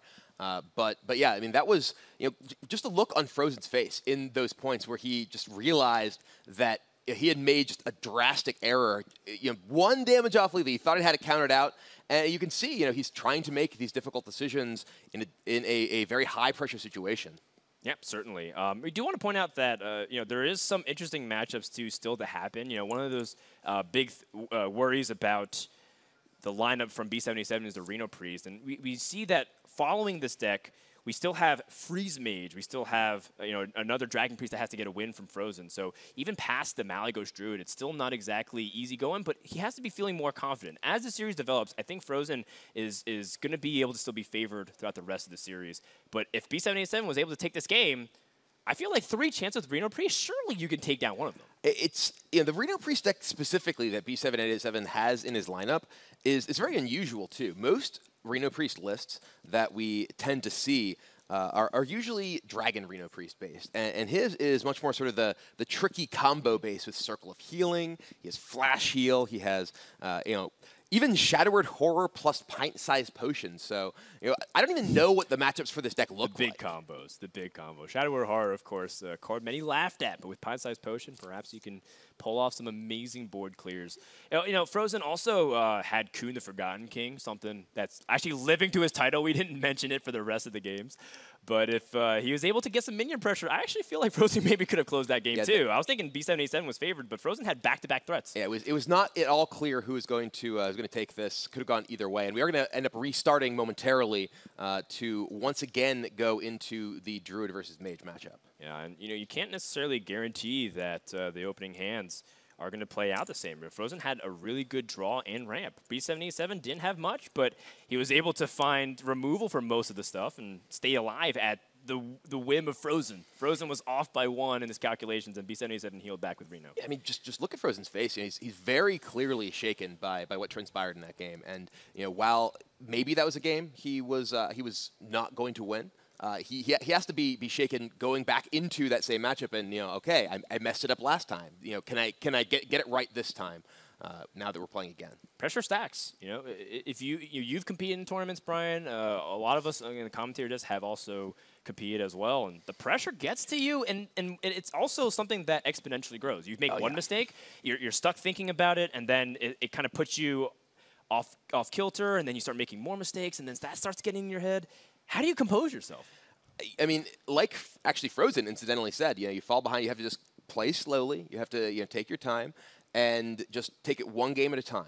And you know, like you mentioned, lots of players watching at home, you know, they, they may think like, you know, oh, these are you know easy decisions, but it's very different when you're on the stage. It's very different when you are the one who has all that pressure on you at the championship. Yeah, and I know Frozen well enough to at least be able to make a guess that he's trying to keep track of a lot of things. How many, what cards his opponent's been playing the entire time, what threats he has to be mindful of, what his deck has consists of too. So there's a lot of calculations going on. Frozen seems to have a relatively similar start, Wild Growth and Nourish being kept. Frozen actually has uh, famously said amongst his player group circles that he keeps Nourish in every single matchup possible. Not exactly sure if that's what you want to be doing at home, kids. Don't, don't try it in every matchup. Uh, but hey, he even picks up the Mire Keeper, so at least for him, things look to be similar. B77, been able to at least have a turn one play with the Babbling Book. So things definitely have uh, similar, but still a little bit different. Wait, and a counterspell off the Babbling Book for B787. That's against a very uh, specific spell combo heavy deck. That can be a very powerful card. If he's able to counter a Nourish, for instance, that could be a huge swing. So here's one of the big differences in the previous game that we've seen compared to this one, is that B77 actually has minions to play early on. Yes. Before, he had a Doomsayer that he just wanted to time. He had a Dirty Rat, not really. Uh, so the important thing is if he's able to stay ahead on the board and pressure, then maybe force Druid to remove instead of going face with the combos. And if they don't have the removal, maybe Frozen will be in a position to just get burned out of the game. Reno Mage can do that sometimes. I have to say, if I were in B787 spot, I would have snapped Counterspell there. I would have played the Counterspell because you know, there there is very little that your opponent's looking to do other than Nourish in these turns. And if you're able to stop one of the key cards like Nourish in the matchup, or even slow them down, what you know, what is Frozen going to play here uh, that you uh, that you're afraid of that isn't some sort of uh, some sort of card draw spell? I guess he could potentially have a Raven Idol and then still play a Nourish because he does have six mana. But uh, you know, B787 decides to keep his pressure going and protect with the Arcane Blast. Well, uh, Frozen does have opportunities to draw cards or ramp. He is a big fan of ramping crystals. He actually talks about this all the time. All right, and that's what he does. Yeah, he, uh, he, he, does tend to argue a lot with his teammates in the Trinity Series prior to this tournament, saying, crystals, you want the crystals, you always want the crystals, especially if you have double nerfs. You can you know, draw cards, Auctioneer can draw cards, Thalnos cycles itself. So surely you have enough ability to dig deep into your deck. Yeah, I think the fact that not only does he have Double Nourish, but also has an Auctioneer, so he's very easily able to leverage that extra mana uh, moving forward. But if B787 is able to catch the second Nourish, perhaps, uh, with a counterspell, that could be huge. There is the Moonfire, though, so Frozen does have the ability to try and, uh, and play around it by firing off the Moonfire initially. Oh, wow, this is a pretty big Boom. moment. Counter. Counter spell, and that's something that you can't really play necessarily around. There's so many range of secrets. That's pretty much the only spell that'd be bad. And, and Frozen, once again, stuck in a tight spot. That Nourish was paramount to his strategy. This entire combo deck is predicated on the fact that you can draw enough cards. He needs to save this Moonfire with the Gadgetzan Auctioneer. This is how desperate he is. He needs to hit his Azure Drakes, uh, or, or and maybe even the Wild Growth position. That's how desperate he is.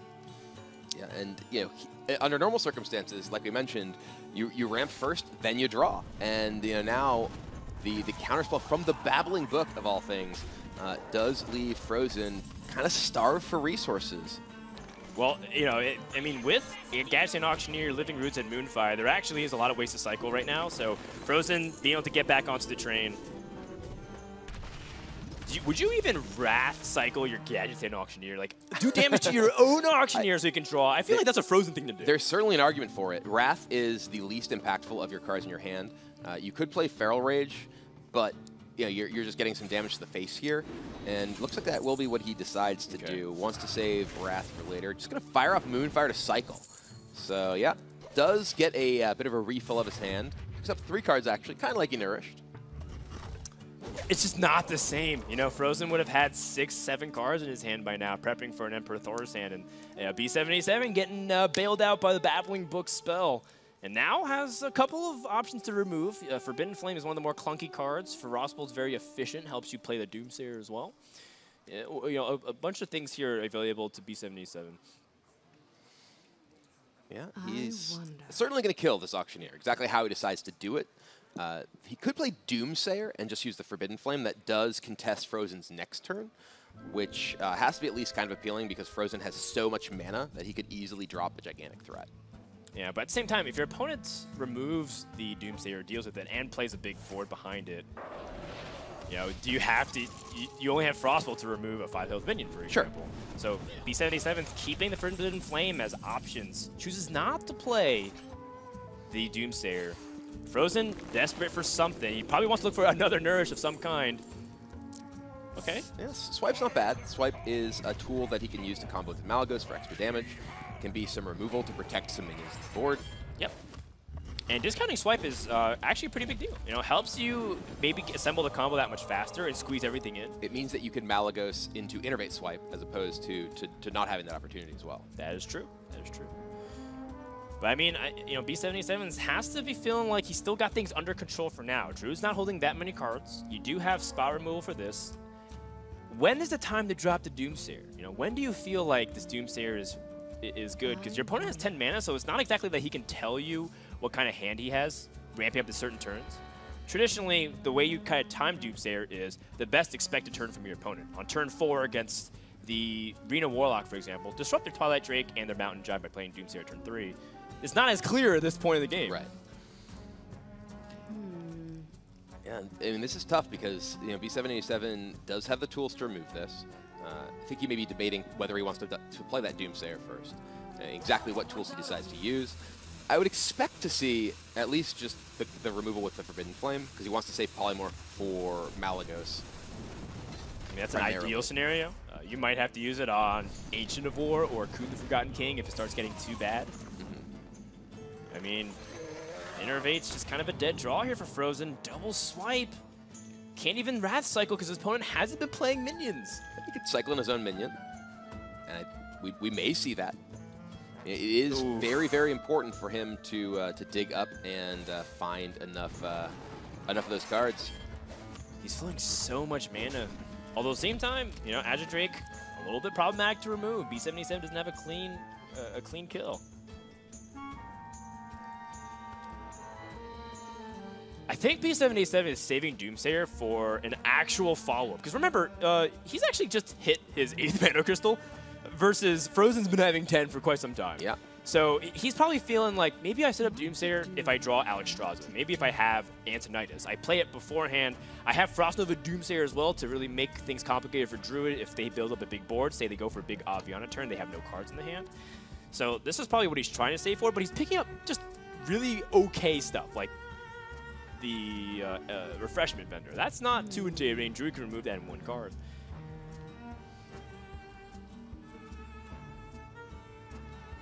Wow. Blizzard on just an Azure Drake. Well, this is a matchup where you're not really taking a ton of minion-based damage as it is. Uh, you know, Blizzard Ping here can set up for just ping the following turn.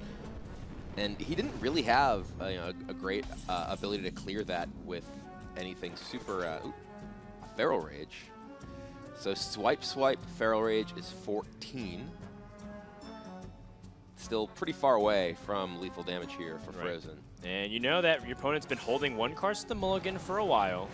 Is it actually time to, to go for the uh, for the burst? And probably not, because you know you could set yourself up for failure. Your opponent is also hasn't really played too much behind uh, you know his turns. His opponent's just Blizzard and Hero Power. That's very weak. It has to be something like Reno Jackson. Right. And, and Frozen is a player who, who pays a lot of attention to the positioning of cards in players' hands. He talks about how he spends actually uh, an hour to two hours a day practicing hand tracking. You know, he'll he'll keep a, uh, a note of what cards were in the player's mulligan, how many of those cards that they have played, whether you know how many of their cards they mulliganed, what cards they drew in the mid game. You know, there's just a ton of mental processing going on, uh, tracking all that information. What to do? B77 is also worried about dying, perhaps. Yeah. He's saying if he has Malygos and uh, a couple of combos cards, such as the second Moonfire, Living Roots, I might die. So he's just playing Reno Jackson for 13. I think that's what Frozen wanted to do. Yeah, I, th I think that Frozen, you know, definitely. Ooh, the Fandral, a nice draw with that Wrath. Finally getting very good value from it. Maybe even more, depending if he's able to hit something very nicely here. Oh, another Innervate. ah, these Innervates are just so useless, and Frozen's starting to feel desperate. I, I feel like his ha- a hand has always been on Frozen's face since the beginning of this game. It's interesting. Frozen could have, after that Wrath, swiped face and then punched the Reno. Oh, you're right. So he, he ended up basically doing two less damage to B787 to pre prevent damage to himself. Yeah, I think he I think he's frazzled. You know, he's not really been able to be efficient in every single corner. And missing that damage could end up being the punishing difference. I mean, most of his card draw's gone. You know, he's, he's already used both of his Nourishes. He's used his Auctioneer. He really has, well, there's card draw. Oof. That's really impactful. Actually, uh, you know, let's see. He's got to think about what he wants to wrap. Yeah. He probably wants to innervate swipe at this point. So I can swipe the the Harrison Jones, so that way he Mhm. can keep his minions. Yeah, this gives him uh, maximum value of, uh, of everything here. He's also playing pretty fast at this point. I think uh, Frozen just wants to get this game over with because he knows that he's had chances. 77's got uh, more more stall though. Right now he's got Fireball, Forgotten Torch, Hero Power, and I'm okay with that. You know, I feel like as B787, you just got to remove the Druid's threats because this has transitioned to a game of just fatiguing your opponent out of resources. Your opponent's already using swipes. He's using Moonfires to draw. He, he's, his ability to deal with uh, to, to, try to combo you down is reduced because he only has three cards in the hand. I'm feeling pretty good if He's- I'm in B787's position. He's also just used a lot of his burst potential too. You know, we've seen those two swipes be used. One of them was picked up off of a Raven Idol. Okay. Um, so you know, there's still some remaining uh, damage available. Interesting. The additional swipe and the living roots. I mean, I, I There's actually the other swipe. kind of be scared of Ancient of War in this position. Yeah. Uh, prioritizing the Azure Drake when your opponent's already used so much uh, removal damage. But Frozen just is going to have to hope that Fandral gets a lot in here.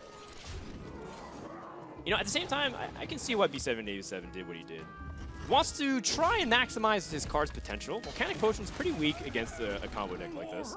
So try to optimize your removal damage.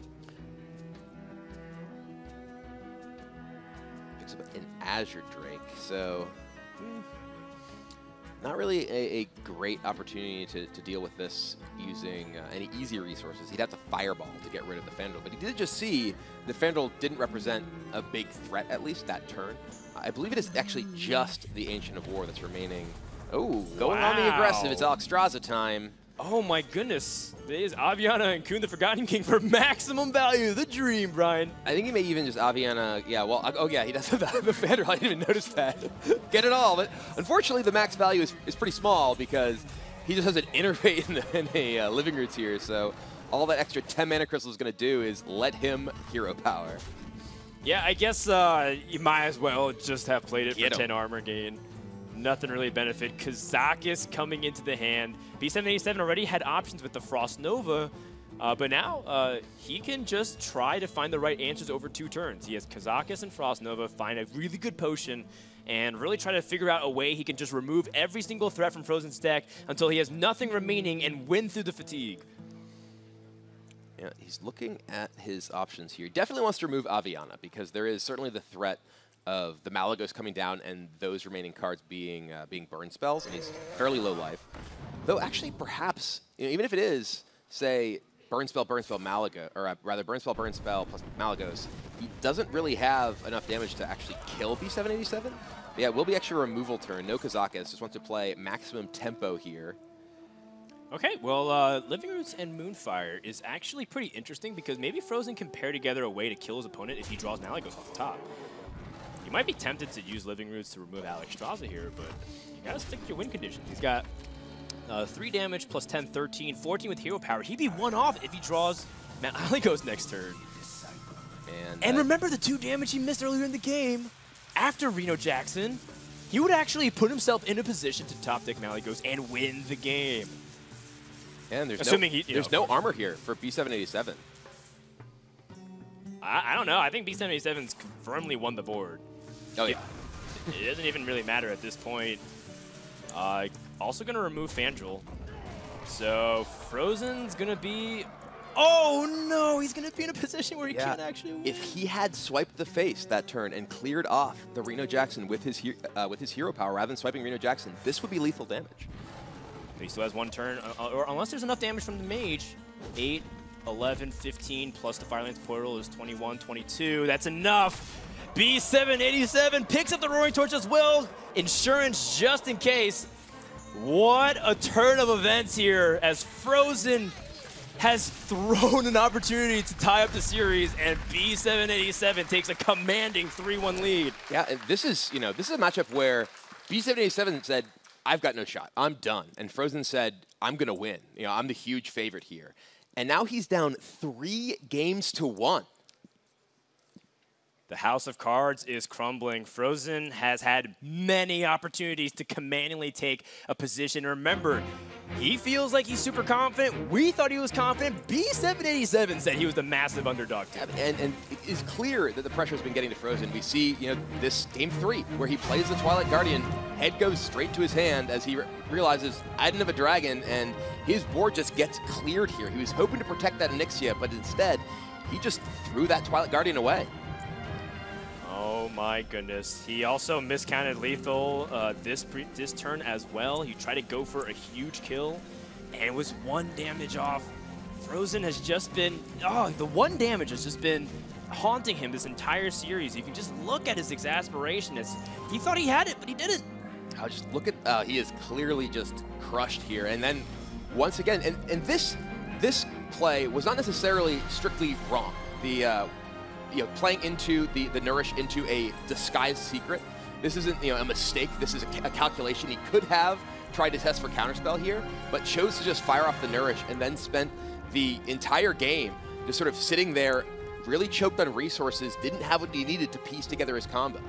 Yeah, but in the end, that shouldn't be the moment that he's thinking about. Right. He's probably thinking about how he was frazzled and he didn't swipe for that extra damage. He decided to overkill a minion for no mm -hmm. reason, uh, other than to just accept the fact that he missed damage. And, and it's even a game where we saw him just load up a feral rage and go face sort of in the in the middle of the game you know it was clear that he was prioritizing getting that face damage in but in that one turn he went the other way and it ended up costing him huge game number five match point for B787, who is the massive underdog. A lot of people also put their faith in Frozen for choose your champion. I did. Uh, they're starting to get nervous. he was my champion. You did that. and uh, we're, we're down to the Reno Priest. This is the X factor. Frozen is extremely confident that Reno Priest will just get destroyed, even if the series ends up in the worst position possible. Is he justified in that belief? I think so, but I think the series is blown wide open, as we've clearly seen in the past few games. Yeah, I mean, it's crazy to think that you know, looking back to the Asia Pacific playoff, where B787 was the overwhelming favorite, and he struggled in that position. And now, Frozen, thought to be the overwhelming favorite, he's been struggling. And as B787 said then, you know, all the pressure's on the person everyone expects to win. And now, clearly, the pressure is on Frozen. Right. And you know what? I don't think B787's done anything egregious at all. I think he's actually played very solidly, understands what his deck can and can't do. And it's just, it's almost as if he's just playing at a very uh, normal pace, and Frozen's the one trying to frantically catch up and make sure that he's he's not falling behind himself. This deck, though, I, I don't know what this deck can and can't do. The Reno Priest deck from B787, not a version that I've played with. He's playing a, a very unusual version of a very unusual deck. He's playing uh, not, not only Reno Priest, but he's playing Pint-Sized Potion. He's playing Shadow Word Horror. He's not playing sort of Dragon Synergy cards. He has embraced the Shadow in his deck.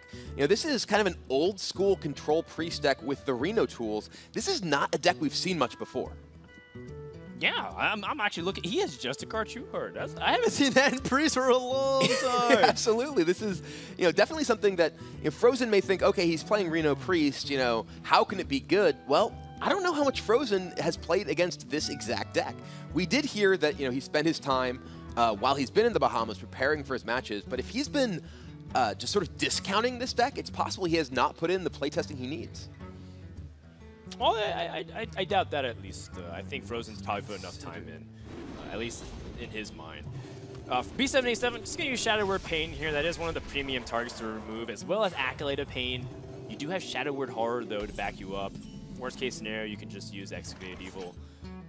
You know, but the important thing is actually not necessarily what the, uh, the, the priest is able to do, but whether or not Freeze Mage can draw into the ideal hand, because they can just kill Priest at, at 30 sometimes, no matter how much they're defending themselves. Yeah, we, have been talking about the Reno Priest kind of broadly, uh, but this matchup, I think, is its worst in Frozen's lineup. And I think that's why Frozen went to this deck. You know, he's had a string of games where they just did not go his way. This is one that I suspect will end up firmly in his favor. The Reno Priest deck doesn't really put any pressure on you. It is right now with the uh, the Priest of the Feast, but three damage per turn doesn't add up very fast. And B787 does not have that many powerful tools to increase that clock. Whereas if Frozen gets the time he needs, he'll just blow him up in one turn. I do. I am actually a kind of a big fan of uh, making sure that you can get pressure out of uh, certain cards as fast as you can. So getting out Harrison Jones, getting out Sylvanas, but they are also problematic cards because of the long-term implications. For example, Auchenai Soul Priest, if it's on the board, if your opponent freezes the board, you cannot heal. So they right. can actually just play a regular burn uh, scenario over two turns. Uh, Sylvanas, liable to steal really bad minions from your opponents like a Doomsayer. So you have to be very cautious with your timing on it. Uh, you did see one Doomsayer being used, so you're probably feeling better about Sylvanas, but you know, cards like uh, Harrison Jones and Auchenai Soul Priest probably want to get that out sooner than later, or maybe not play them at all. Interesting. Excavated Evil here from B787. It seems that he wants to just be able to keep attacking face with his Priest of the Feast and shuffle that uh, weak card into Frozen's deck to disrupt his combo. He had a number of other options that turn. Like you mentioned, he could play Harrison Jones, he had the Power Shield to maybe protect that. Uh, but he, it looks like he's deciding to huh. try to maximize his immediate clock here and uh, disrupt Frozen. Yeah, I actually really like this play from Frozen. Uh, something that a lot of people might be tempted. I have six mana. I have 10 cards. I have Emperor. Mm -hmm. It's, a, it's a match made in heaven. But Frozen realizes that the most important thing to do is discount the cards that will kill the Priest in one turn because they have Reno Jackson. You have to be able to deal 27, 28 points of damage at one point, maybe even more. So get the Ice Lances, get the Evolved Kobolds into your hand.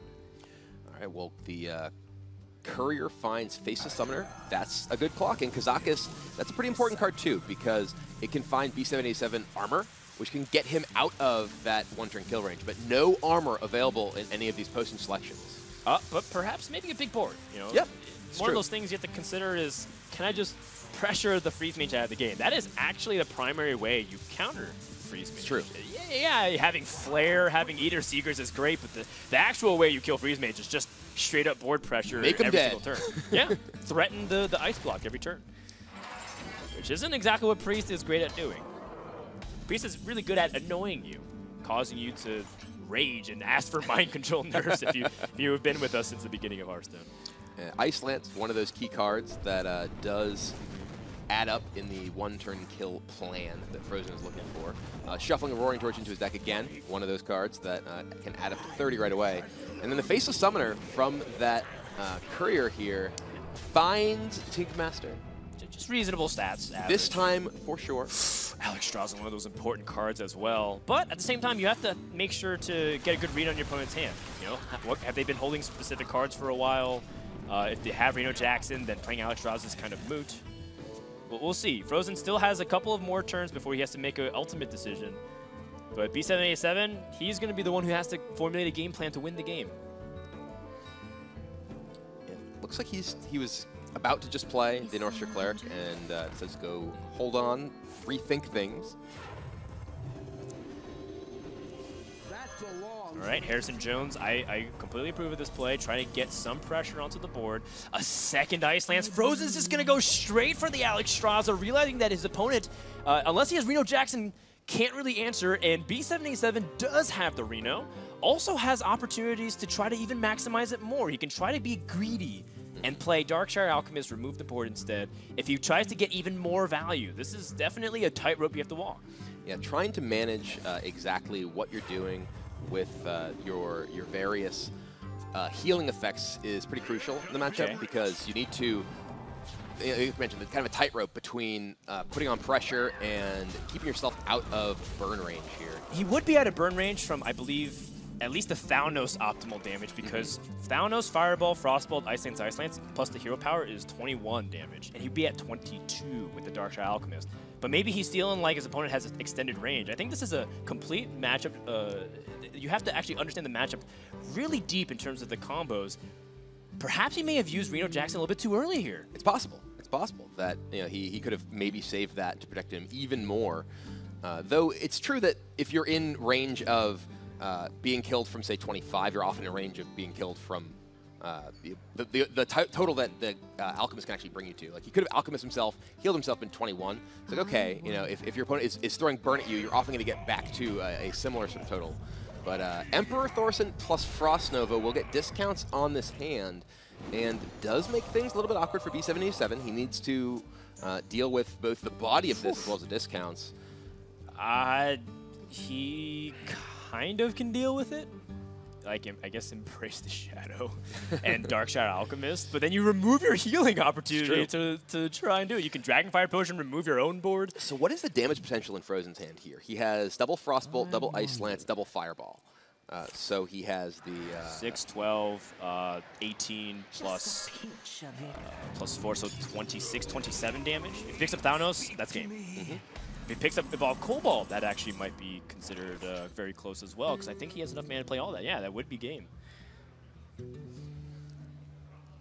A4, A10. Uh, actually, I think I think so. Yeah. So Frozen's looking for any of his spell damage or any of his ability to enable it.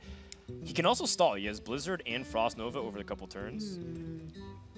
Do you think you should also start tossing away Burn? Like, for example, Fireball would not be even be playable if you drew the Evolve Kobold. I think he has to play Evolve Kobold plus the Roaring Torch, Fireball, or Frostbolts, and Ice Lances. Yeah, the, the awkward thing is that uh, you know, you're playing against a Priest who's just healing themselves for two each turn, so you're not necessarily actually getting uh, meaningful incremental damage in. Now he's actually giving his opponent you know, even more draws. But does it, I don't think the draws really matter nearly as much. Your It's opponent true. has played Reno, so that's the worst case scenario. Yeah, the, the actual healing remaining in B787's deck is, is pretty limited. Uh, he, he's already played his Priest of the Feast. He's already played his Reno Jackson. Uh, he has already played his Darkshire Alchemist. So looking through his list, that's it. Yeah, the only other sort of burst healing he even has available is just a card True Heart to allow himself to heal an additional time in a turn. I mean, Frozen has 12 cards remaining in his deck. It's actually very unusual. Reno Priest is ahead in the card draw. But all Frozen needs to do is Ooh, just a draw... Guard picked up from the Kazakus potion. It, it matters it's burst. If Frozen is not calculating the possibility of, of this coming, uh, it could very easily throw him off dramatically. Yeah, I mean, Frozen just needs to find that Evolve Kobold, though, and just win the game. It still doesn't really matter what B787 is able to do. He has multiple ways to deal with his Doomsayer. Uh, could end up Shadow Word Horroring. It's too full. Cabal Shadow Pre is great, but not, not nothing that useful. Interestingly, Shadow Word Horror actually kills the Doomsayer without killing any of B787's minions. Yeah, there you go. And he can even develop behind it. And now that this is the second Doomsayer, he can safely play Sylvanas. There's no more freeze, I believe. Or actually, I think he has one Frost Nova maybe remaining, but two Blizzards have been used as well. And now with both Doomsayers being used, he feels free to play out, uh, Sylvanas, one of his stronger minions. Ooh, B787 uh, almost immediately plays Circle of Healing. Now he's hesitating. What, what, is he hesitating for? I'm curious. Uh, I'm not really sure because Frozen has played both copies of Blizzard, uh, so there's not like really flashpoints on his minions that he cares about. There is no Flame Strike in his deck, so that's not something that he's really uh, concerned about the possibility of. Uh, does just go ahead and heal them all up. Frozen, I don't think really cares that much about the health. Oh. there is Kobold. All right. And yeah, Frozen, you know, he knows how this works. Yeah. Kobold comes down. He has the ability to Roaring Torch, Frostbolt, Frostbolt, Ice Lance, Ice Lance. Yeah, he- he's got 32 at least. This uh, is my a count. lot of damage with plus two spell damage from each of these. And exactly what he was looking for to get him right back into this series. And, uh, you know, Frozen, he had still a couple turns to draw into Ice Block. Plus, he had other ways to draw. You know, we haven't seen Novice Engineers, for example. He had a lot of ways to accelerate and most likely get it in the couple turns that he had. And Frozen stays alive, being able to rely on Freeze Mage for a win, but he's still not even tied up the series. It's two to three. Yeah, and you know it will be the Reno Priest for B787 for all of the rest of the games, and you know that was, as you mentioned, definitely its toughest matchup in uh, Frozen's remaining uh, remaining decks. I feel like, uh, but yeah, that was that actually was relatively close. It felt like Frozen, you know, was, was digging a little bit, and uh, there there were opportunities for B787 uh, to win if Frozen had missed for a couple more turns. Yeah, right. I guess I guess there's still a lot of card draw left, so maybe not. Maybe I'm, maybe I'm, I'm giving a little too much drama into what just happened there. well, I, I do like uh, what you're saying. You know, Reno Priest had no business even being within striking distance, and uh, Freeze Mage definitely got close. And you can see Frozen felt like, whew. You know, if I lost that game, it, not only would the series be over, but it'd also be kind of a, a you know just the finishing blow on what what has been a mark of embarrassment for him. It's just the fact that Frozen's way better of a player than he showcased in this series so far. Yeah, and you know it's got to be something that's weighing on his mind here. You know, he he mentioned that he thinks he's one of the best players in the world. He feels like you know if he gets an opportunity, he can win a championship, and he's not playing like that. He is he is definitely struggling here on this stage and uh, hoping to make a comeback in this match. All right, let's turn to Malygos Druid once again up against Priest, a deck that has a lot of problems for Dragon Priest or uh, Reno Dragon Priest to solve. You know, It's not even Reno Dragon Priest. If it were Reno Dragon Priest, it would I think even have a little bit of a better matchup. It's just Reno Control Priest.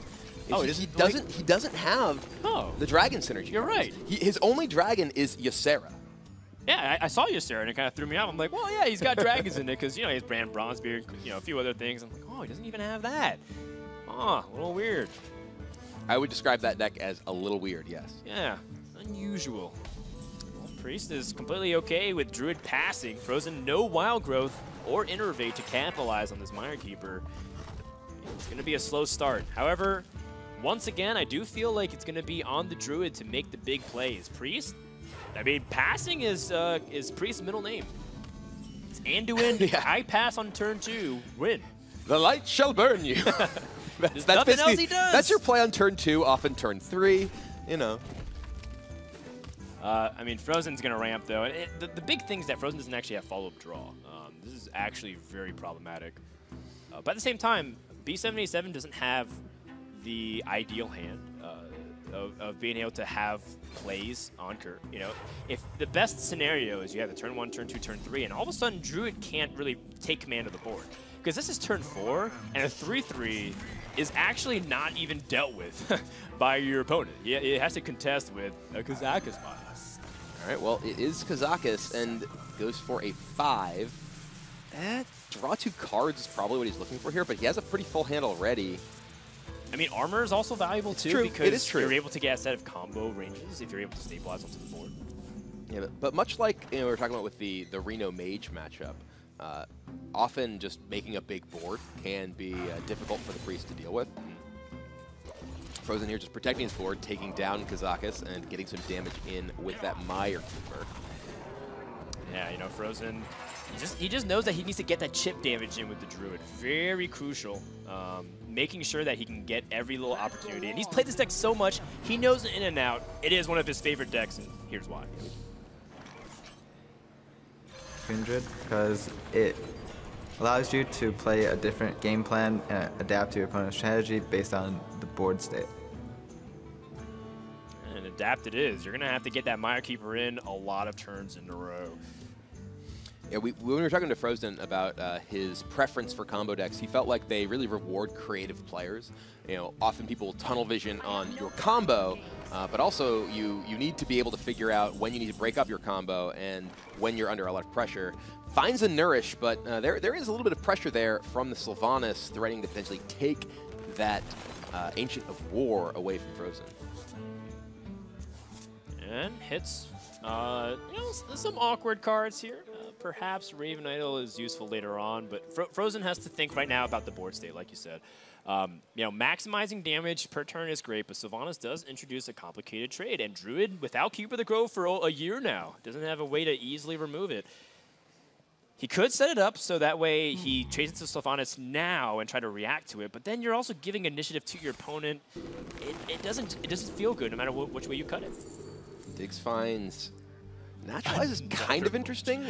B787's hand is pretty full. Oh, yeah, you're uh, right. He actually has nine cards in hand, so Naturalize is sure. a one mana way to remove a minion here uh, that actually burns your opponent a card, which could be relevant.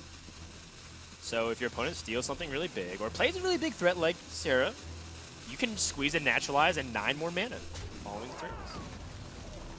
Well, actually, it allows him. Oh, looks like he, changes. Oh, uh, this is very cute. Using Living Roots, just the roots themselves, and Naturalize, forcing an overdraw plus potentially stealing a very weak minion. Priest of the Feast, not that great. And Ooh. Frozen's Gambit pays off, burning Raza the Chained. Much to the chagrin of Brian Kibler, I think he died a little inside. I love that card. Card's great.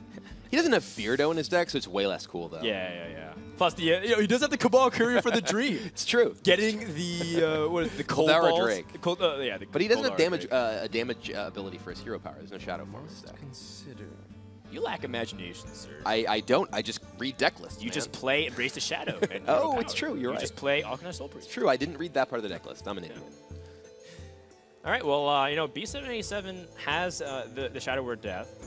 Is it worth using in this position when your opponent already has demonstrated that he's, I mean, I mean your opponent's already gotten value off the trade? Well, I believe a his little bit weaker. Kazakus potion was deal 5 damage, gain 7 armor, if I recall correctly. Oh, correctly. was it? So Okay. that does give him a clean way to remove the Ancient of War and save the death if he wants for, say, Kun. Oh, gonna go ahead and excavate. Ah, and use a coin with There the Wild Pyromancer. Very resourceful use here. But it does make the, the Pyromancer vulnerable just to hero power. And you can see that he wants to save Shadow Word Death. He wants to save this Pint-sized Potion plus the, the Shadow Word Pain combinations because he feels like there's bigger fish to fry. And I also like holding onto the Kazakus potion because uh, it is a way to deal with minions that are tougher to deal with, like the Azure Drake. that we see uh, come down this turn, which otherwise he would be struggling to be able to kill. B77 gonna have to find a way to kill the Azure Drake. Also, uh, is a prime target for the Cabal Shadow Priest. Ooh, there's the combo. Oh, the the dream combo, but uh, that's that's definitely better on a board uh, with a lot more minions than just an Azure Drake. Or it's is it? It's interesting with the, the potion too because uh, he wants to play the potion before he expects his opponent might be able to combo him because the potion protects him, or rather the armor would protect him from the, the one turn kill possibility uh, of the burst damage. Uh, that said, you know, he, he may need to fire it off to uh, to deal with the Azure Drake here. And he will. Yeah, this is this is one of those things where you can't necessarily be too greedy, but at the same time, you know, it's not like this ooze does very much either. So you're once again going to be presented with a big threat. Uh, Frozen, just going to start drawing right now. He's looking for big combos, big big things to help him draw. Auctioneer would be massive pickup. Azure Drake is already very good too. This is starting to get harder and harder. There's Malygos. I mean, Malygos can get dealt with. It's, it's all about whether or not there's Auctioneer. Frozen can kill him in one turn. And that is a, a handful of cheap spells. He even has Wild Growth, he has Innervate, he has lots of ways to turn those cards into more cards with the Auctioneer. Oh, Embrace of Shadow. Actually, that's a really big pickup. now B787 can use his Dark Shadow Alchemist to remove his opponent. Or sorry, remove his, Remove his uh, opponent. Remove his Oh, opponent. that card's broken. Uh, remove the Azure Drake. Very good sequencing, making sure that he has an opportunity to heal, which matters a lot more than dealing two face damage to your opponent. And Frozen doesn't actually have another way to threaten immediately uh, with the Azure Drake, so now he has to follow up with, well, uh, drawing a bajillion cards maybe, or perhaps loading up the board. Is this the turn to use all your stuff? No, looks like it's at least an Auctioneer turn. No, maybe not. Well, well, what's tricky is that he has 10 cards, so he actually has to make sure to plan everything so that way he doesn't overdraw, because Auctioneer with the Wild Growth will actually force him to draw too many cards. It's true. It's true. He can play, you know, Fandral, for example, with it. But then if you have Fandral and you draw Well, Raven then he needs Idol, innervate. then you just draw two. Yeah, it's true. And he might want to save the Innervate to use alongside uh, the, the Malygos Aviana turn. Or even perhaps if he doesn't find Kun, he could have a Malygos turn with Innervate. One, one- one example is, for example, you can play, you know, Wild Growth before you play Auctioneer, and then you just get one less draw so you don't overdraw. It looks like Frozen doesn't have a very clean way to uh, to just guarantee de- uh, dealing with the 4-5. So he just plays Fandral, and he only plays a Wild Growth, like we mentioned, just to save it for the excess mana. Yeah, this lets him have additional mana next turn alongside the Auctioneer and still have the uh, the cheap card draw available.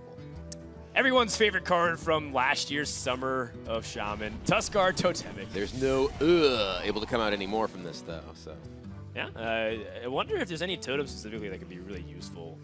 Um, maybe maybe the taunt totem to stop something, or a one-one. You can't underestimate the damage of one of a one-attack minion if you need Auchenai plus something well, else. there's to bring into shapeshift it. there, so one one's probably not going to do. All Oh, that you're much. right. You're right. You're right.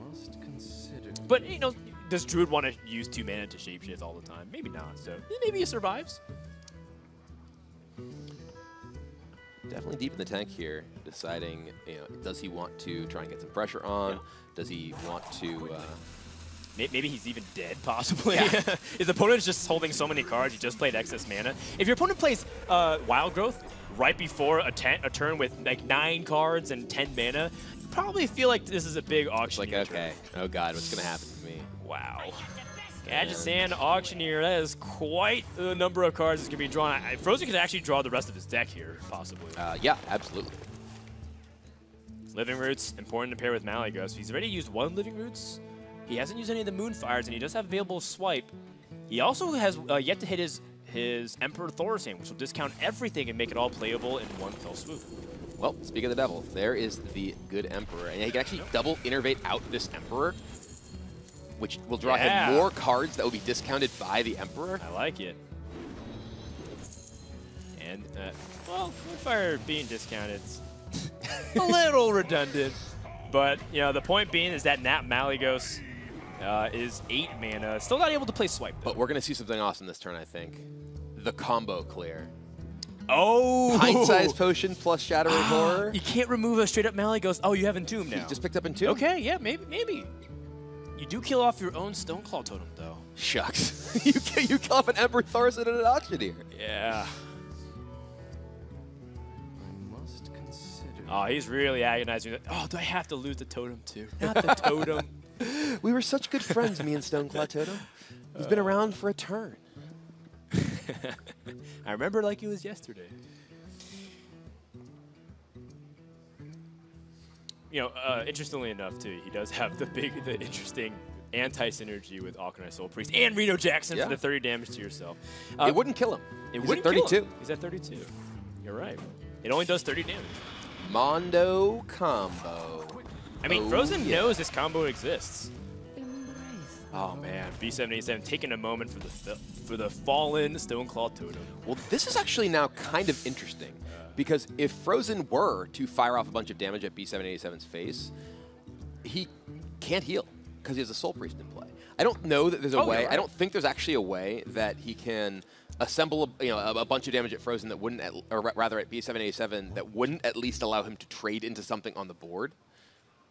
He could hero power his own Auchenai Soul Priest. Right, but he'd still into Malygos. Right. That's, that's what I'm saying. Like uh, because he'd have to play the Malygos to do it. Right. He could clear it off. Sure, sure. All right, Frozen trying to free up his hand. Can't play both swipes. He might even fire a swipe to the face because it just removes some of that armor. We'll see what he picks. What he picks up.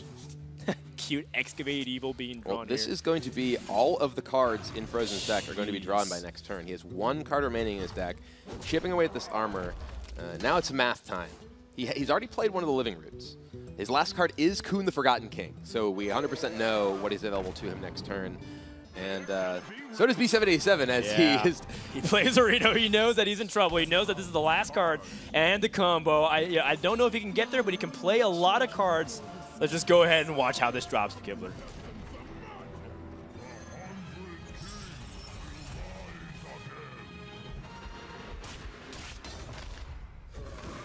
Ooh. Yeah, that, that'll get him there. Oh, yeah. Not one off this time. Yeah, he's got him way covered, and Frozen has tied the series with an eight-card combination attack. The exact dream he's been waiting for, drawing on the 30th card. And now, you know, all the pressure was on Frozen, down three to one, but everything is even now. Three to three, going to the final game. At Reno Priest, as Frozen predicted, maybe B787's downfall. Yeah, but at the same time, I gotta say, I haven't actually played much of Dragon Priest versus Reno Priest, especially a Reno Control Priest. Does the Dragon Priest have too much tempo for Reno Priest to fight back, or do you feel like Reno Priest actually has all the answers? Well, one of the things about uh, the Reno Priest versus Dragon Priest is that the, the Reno Priest does have these really powerful combinations that can swing the board massively. We saw the pint-sized potion plus Shadow Word Horror. That's really effective against a deck that's trying to get multiple large minions on board. Uh, we also see the Auchenai uh, plus Circle of Healing or Embrace the Shadow plus Circle of Healing. Lots of tools there. Uh, one key thing too, though, is that the uh, the Dragon Priest has a lot of tools to play the long game with the uh, the Draconid Operatives, the Netherspite Historian. So lots of things they can do to steal cards from their opponent's deck to really go long as well. Well, really love how Frozen's able to pick up the pace. It seems like he's, uh, for the most part, been able to center himself. You know, we saw this crucial moment where most people, they, they feel like when they see Sylvanas, they tend to panic. You know, should I leave it up for my opponent? Should I try to trade into it? How do I trade into it? And he's able to adapt by utilizing Naturalize and his living roots in combination. This is what Raven Idol and Discover, they, they love to go in combination because you get to have these unusual synergies that pop up. And this paid off huge dividends. Dealing that 1-1 only was a big deal. Yeah, and you know, we, we heard Frozen uh, talk a bit, or rather, we talked to Frozen about how he loves combo decks because they force you to adapt, because they force you into situations where you need to be creative, and that creativity certainly paid off there. Yeah, so he's like, well, uh, Frozen said, you counterspelled my Nourish. I'm going to get this Naturalize off the Raven Idol to retaliate from the Babbling book. So tit for tat. Now we go into game number seven. It's all on the line, Brian. The winner of this will be only one match away from guaranteeing themselves top eight. Yeah, and uh, we saw you know Frozen's face here. We, we've seen him a lot on camera when he was uh, you know, sort of in those rough situations earlier. He looks so much calmer now. It's like he's back into his uh, his natural habitat here. By the way, we just heard the, the priest versus priest uh, greeting. That, that- I don't know that I've ever heard that HCT before. Make make a wish. You just saw priest versus priest greet each other. It's like a shooting star in the sky. I will defend the light. Now we'll think see. that's what it is. Both of these people apparently fight for the light, so one of them's got to Got to come out on top. Uh, Frozen is going to be the one that needs to get onto the board very quickly. We know that there are uh, clears available in B787's deck. I believe Pint Size Potion and Shadow Word Horror should clear pretty much everything outside of, uh, you know, a big Netherspite Historian uh, minion that comes out. Not to mention that I think the discovers can get a little wonky. You know, Frozen can maybe discover something crazy. If it's late stages of the game, we've seen people discover Kazakus and use it because they have nothing left in their deck. It, it gets kind of ridiculous very fast. Yeah, uh, this is pretty key, though. The uh, Pain for Frozen definitely swinging the early game back in his favor. Uh, the uh, Northshire Cleric, a very crucial minion in these early stages of the games, can definitely give uh, a player a significant advantage in terms of resources. Yeah, this is uh, really important. You know, the Shadow Word Pain eliminated Northshire Cleric, but Acolyte Pain can't get dealt with now. There's no Shadow Word Pain for Frozen. He just plays Brann Bronzebeard on curve. This is a, a, a, play that's very hard for many players. They feel like they need to save Brann for guaranteed value, but your opponent has shown that he can't uh, Shadow Word Pain and Northshire Cleric yourself. He shouldn't be able to deal with it now. And no, no answer to Brann. So unanswered Brann's Bronzebeard will allow Frozen to potentially just coin out a Draconid Operative and get double Discover this turn. Double Discover. Now we know that uh, Ysera, one of the most powerful cards, is, is in the hand already, but there's still plenty of good stuff. wow, Twilight Drake is a really big pickup here. Yeah, Twilight Drake is a great card uh, against any priest deck, really. Whew. Uh, Sylvanas as well. So two really potent anti-priest minions picked up by Frozen, or at least available to him here.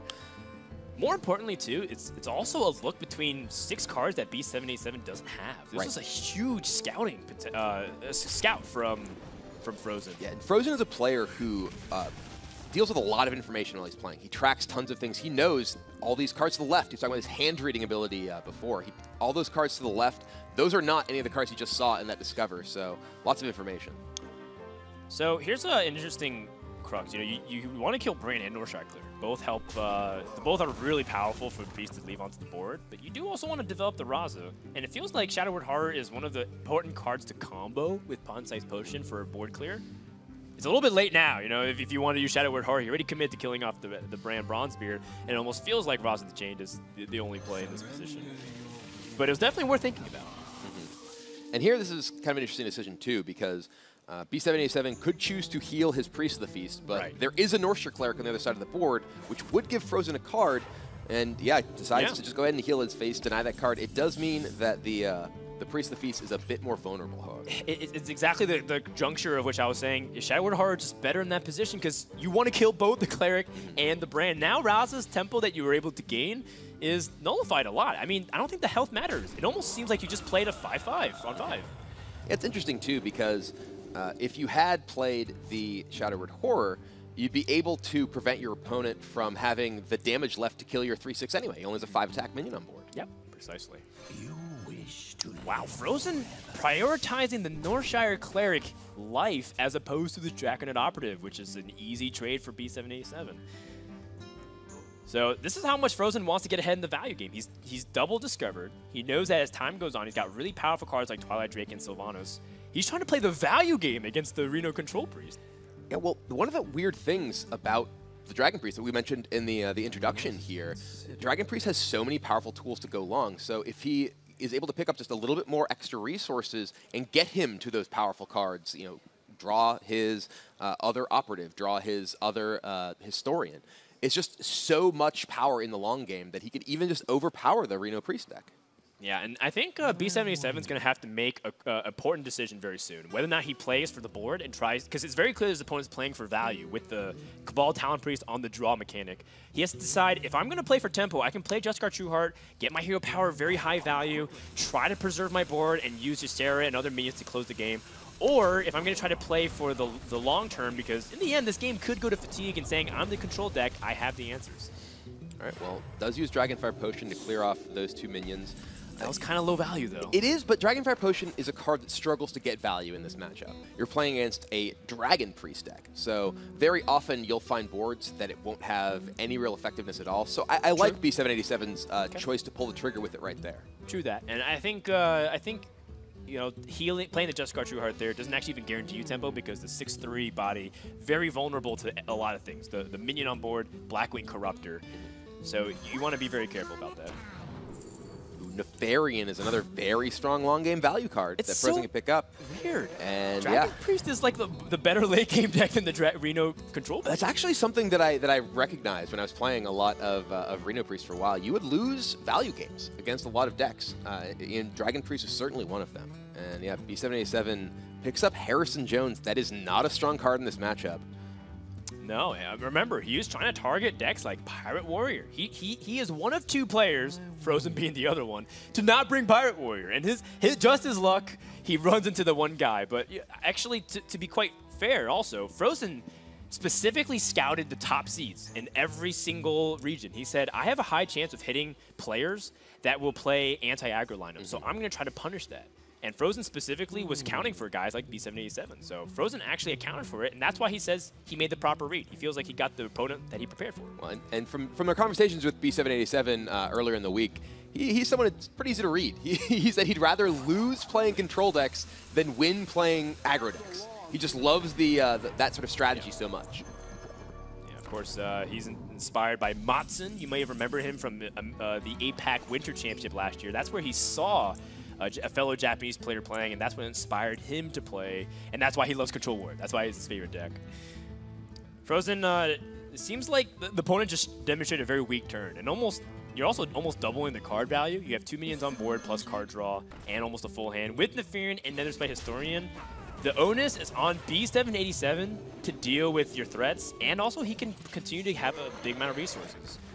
This is completely in Frozen's momentum right now, and, and I don't know if B787 can stabilize here. I was going to say, if he's really looking for a pint-sized potion right here, it would be a, uh, a strong uh, card to, to turn the board around. Excavated Evil, though, takes out everything but the Drake.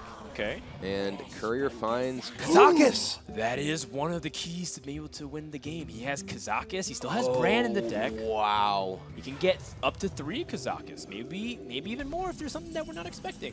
Well, you know what card's good in long value games, like the one Frozen is trying to play? Kazakus. Well, I mean, here comes another question too.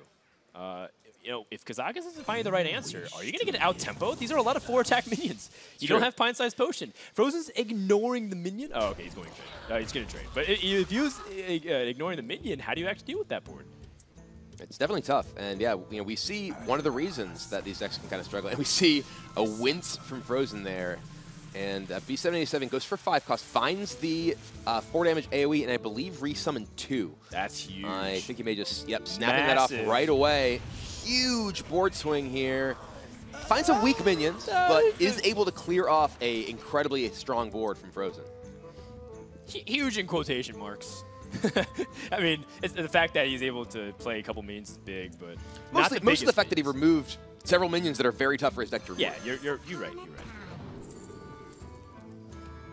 Bookworm not necessarily that bad of a pickup in this position. Shilmo is also okay too because it's, it threatens the board. It does threaten your own uh, Management Historian, which might be useful. So B77, maybe he finds an opportunity to play Ysera now. You know, something that we were kind of wondering is if he falls too far behind, but perhaps he doesn't have to if he has Sylvanas. It's one of those interesting situations where you can make an argument for both cases. And now, you know, there are 10 mana available for B787.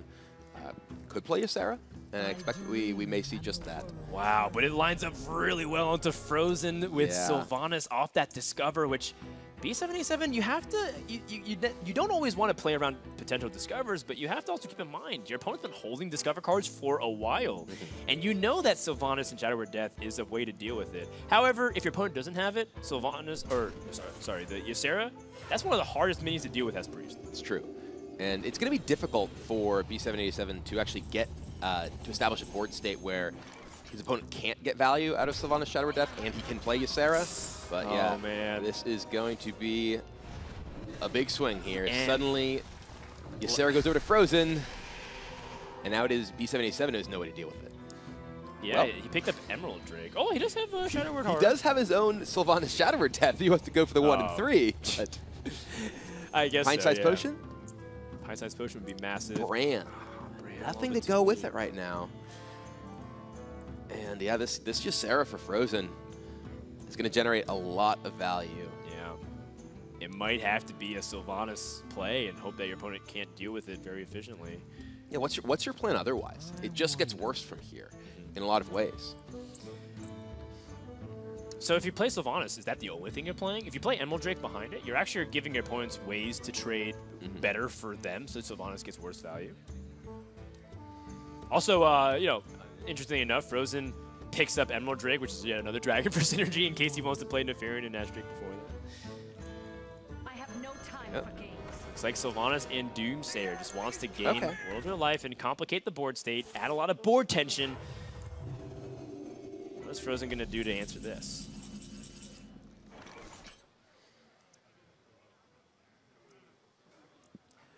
Yeah, this is yeah, definitely a tough situation for Frozen here. Uh, he can attack both of his minions into Doomsayer, uh, attack into the Sylvanas, perhaps Powered Shield his uh, his Bookworm so it lives, play a small minion and Holy Nova.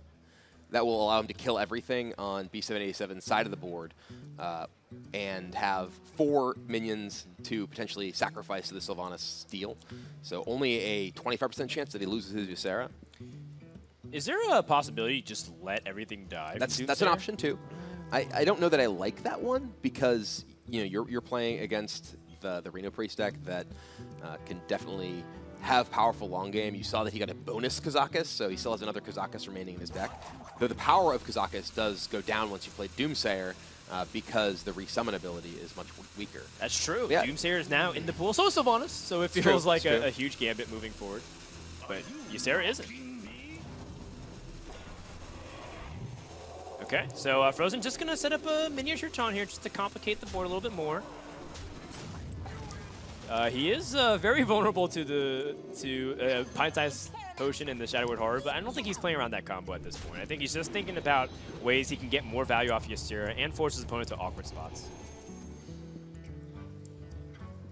Embrace the shadow. Yeah, no circle of healing to pair with that. And B787, just, you know, the victim of the Reno Priest, something that we're talking about all series long. Too many pieces, not enough finishing of the pu- puzzle. Well, he does have the ability to Shadow Word Horror, which would remove the taunt because it's two power. Uh, he could then attack into the 3-5 and potentially just kill his own Sylvanas and have a 50% chance of stealing his Ysera. Okay. Yeah, you actually kill off the Netherspite Historian by doing that too. Right, exactly. You know what? I think 50% odds to get momentum back in your favor it might be your best percentage versus playing the long game of just trying to hope that your opponent can doesn't load up the board a lot more and hope that Sylvanas will carry the board is going to be really tough. So I like it. I like All right. it. I think that's what he's going for.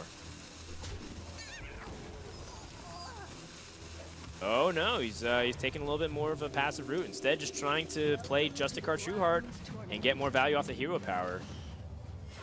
He says, you know what? Not killing Sylvanas introduces, uh, you know, some some complicated board states. You're giving your opponent extra Ysera cards every turn here. Like, if one of these is Dream, you know, your your ability to even threaten the steal with Sylvanas, you know, suddenly gets a lot worse. True that. So, yeah, this is definitely a, uh, you know, a, a spot where B787 is putting himself into that is just going to keep, it feels like to me, kind of getting worse each turn. And Frozen just introducing more roadblocks, loading up the board. You know, it, also if your opponent uh, had a bunch of Twilight Whelps, loaded up the board with weak minions, your Sylvanas would get get like le less value on average. But I think B787 is thinking about, you know, I'm holding so many cards that might combo. What if I pick up Circle of Healing? You know, maybe I have an opportunity to swing the board that way. It's true. Doesn't seem like going to be the case, though. Everything is just a little too awkward right now for the hand. The good news, though, he's still gotten time. You know, the game's not being threatened to be over in the next turn. But it might as well be if you can't deal with it. Oh, another card. Redundancy with the Embrace the Shadow.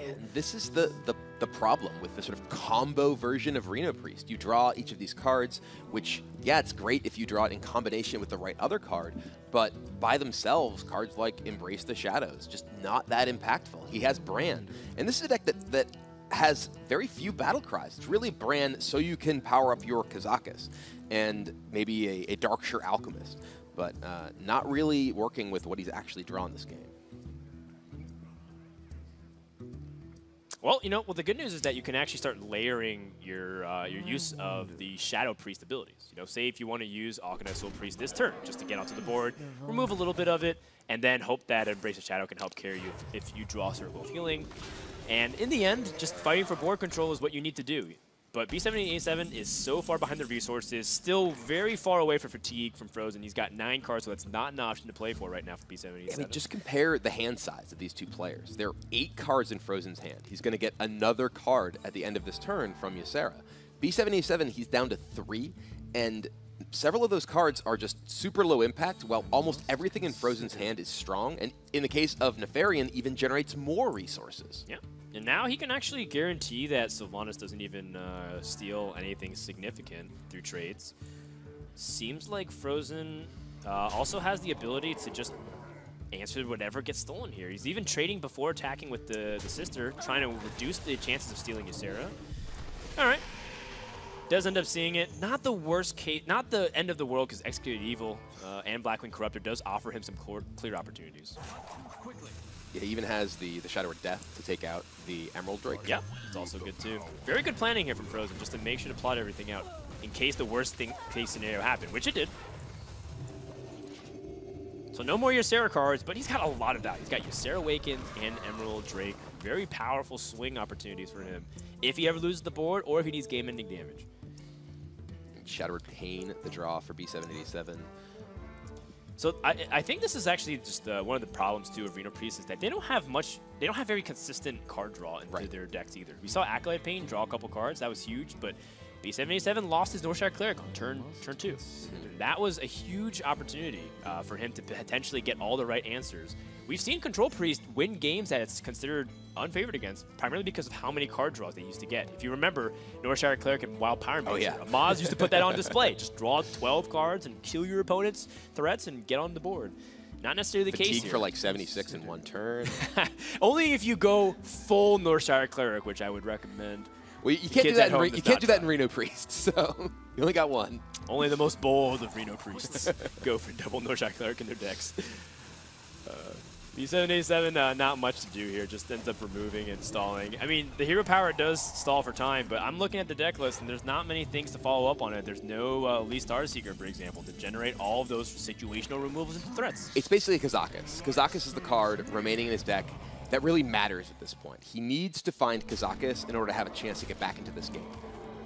And that Nefarian will speed up the clock a lot. You could be under pressure of dying. Oh, Twilight Drake, not that useful. That's a powerful card against Priest in the early game, but when you have exhausted so many of your resources and the opposing Priest has such an imposing board, it is not effective. That's just a 4 4 for 4.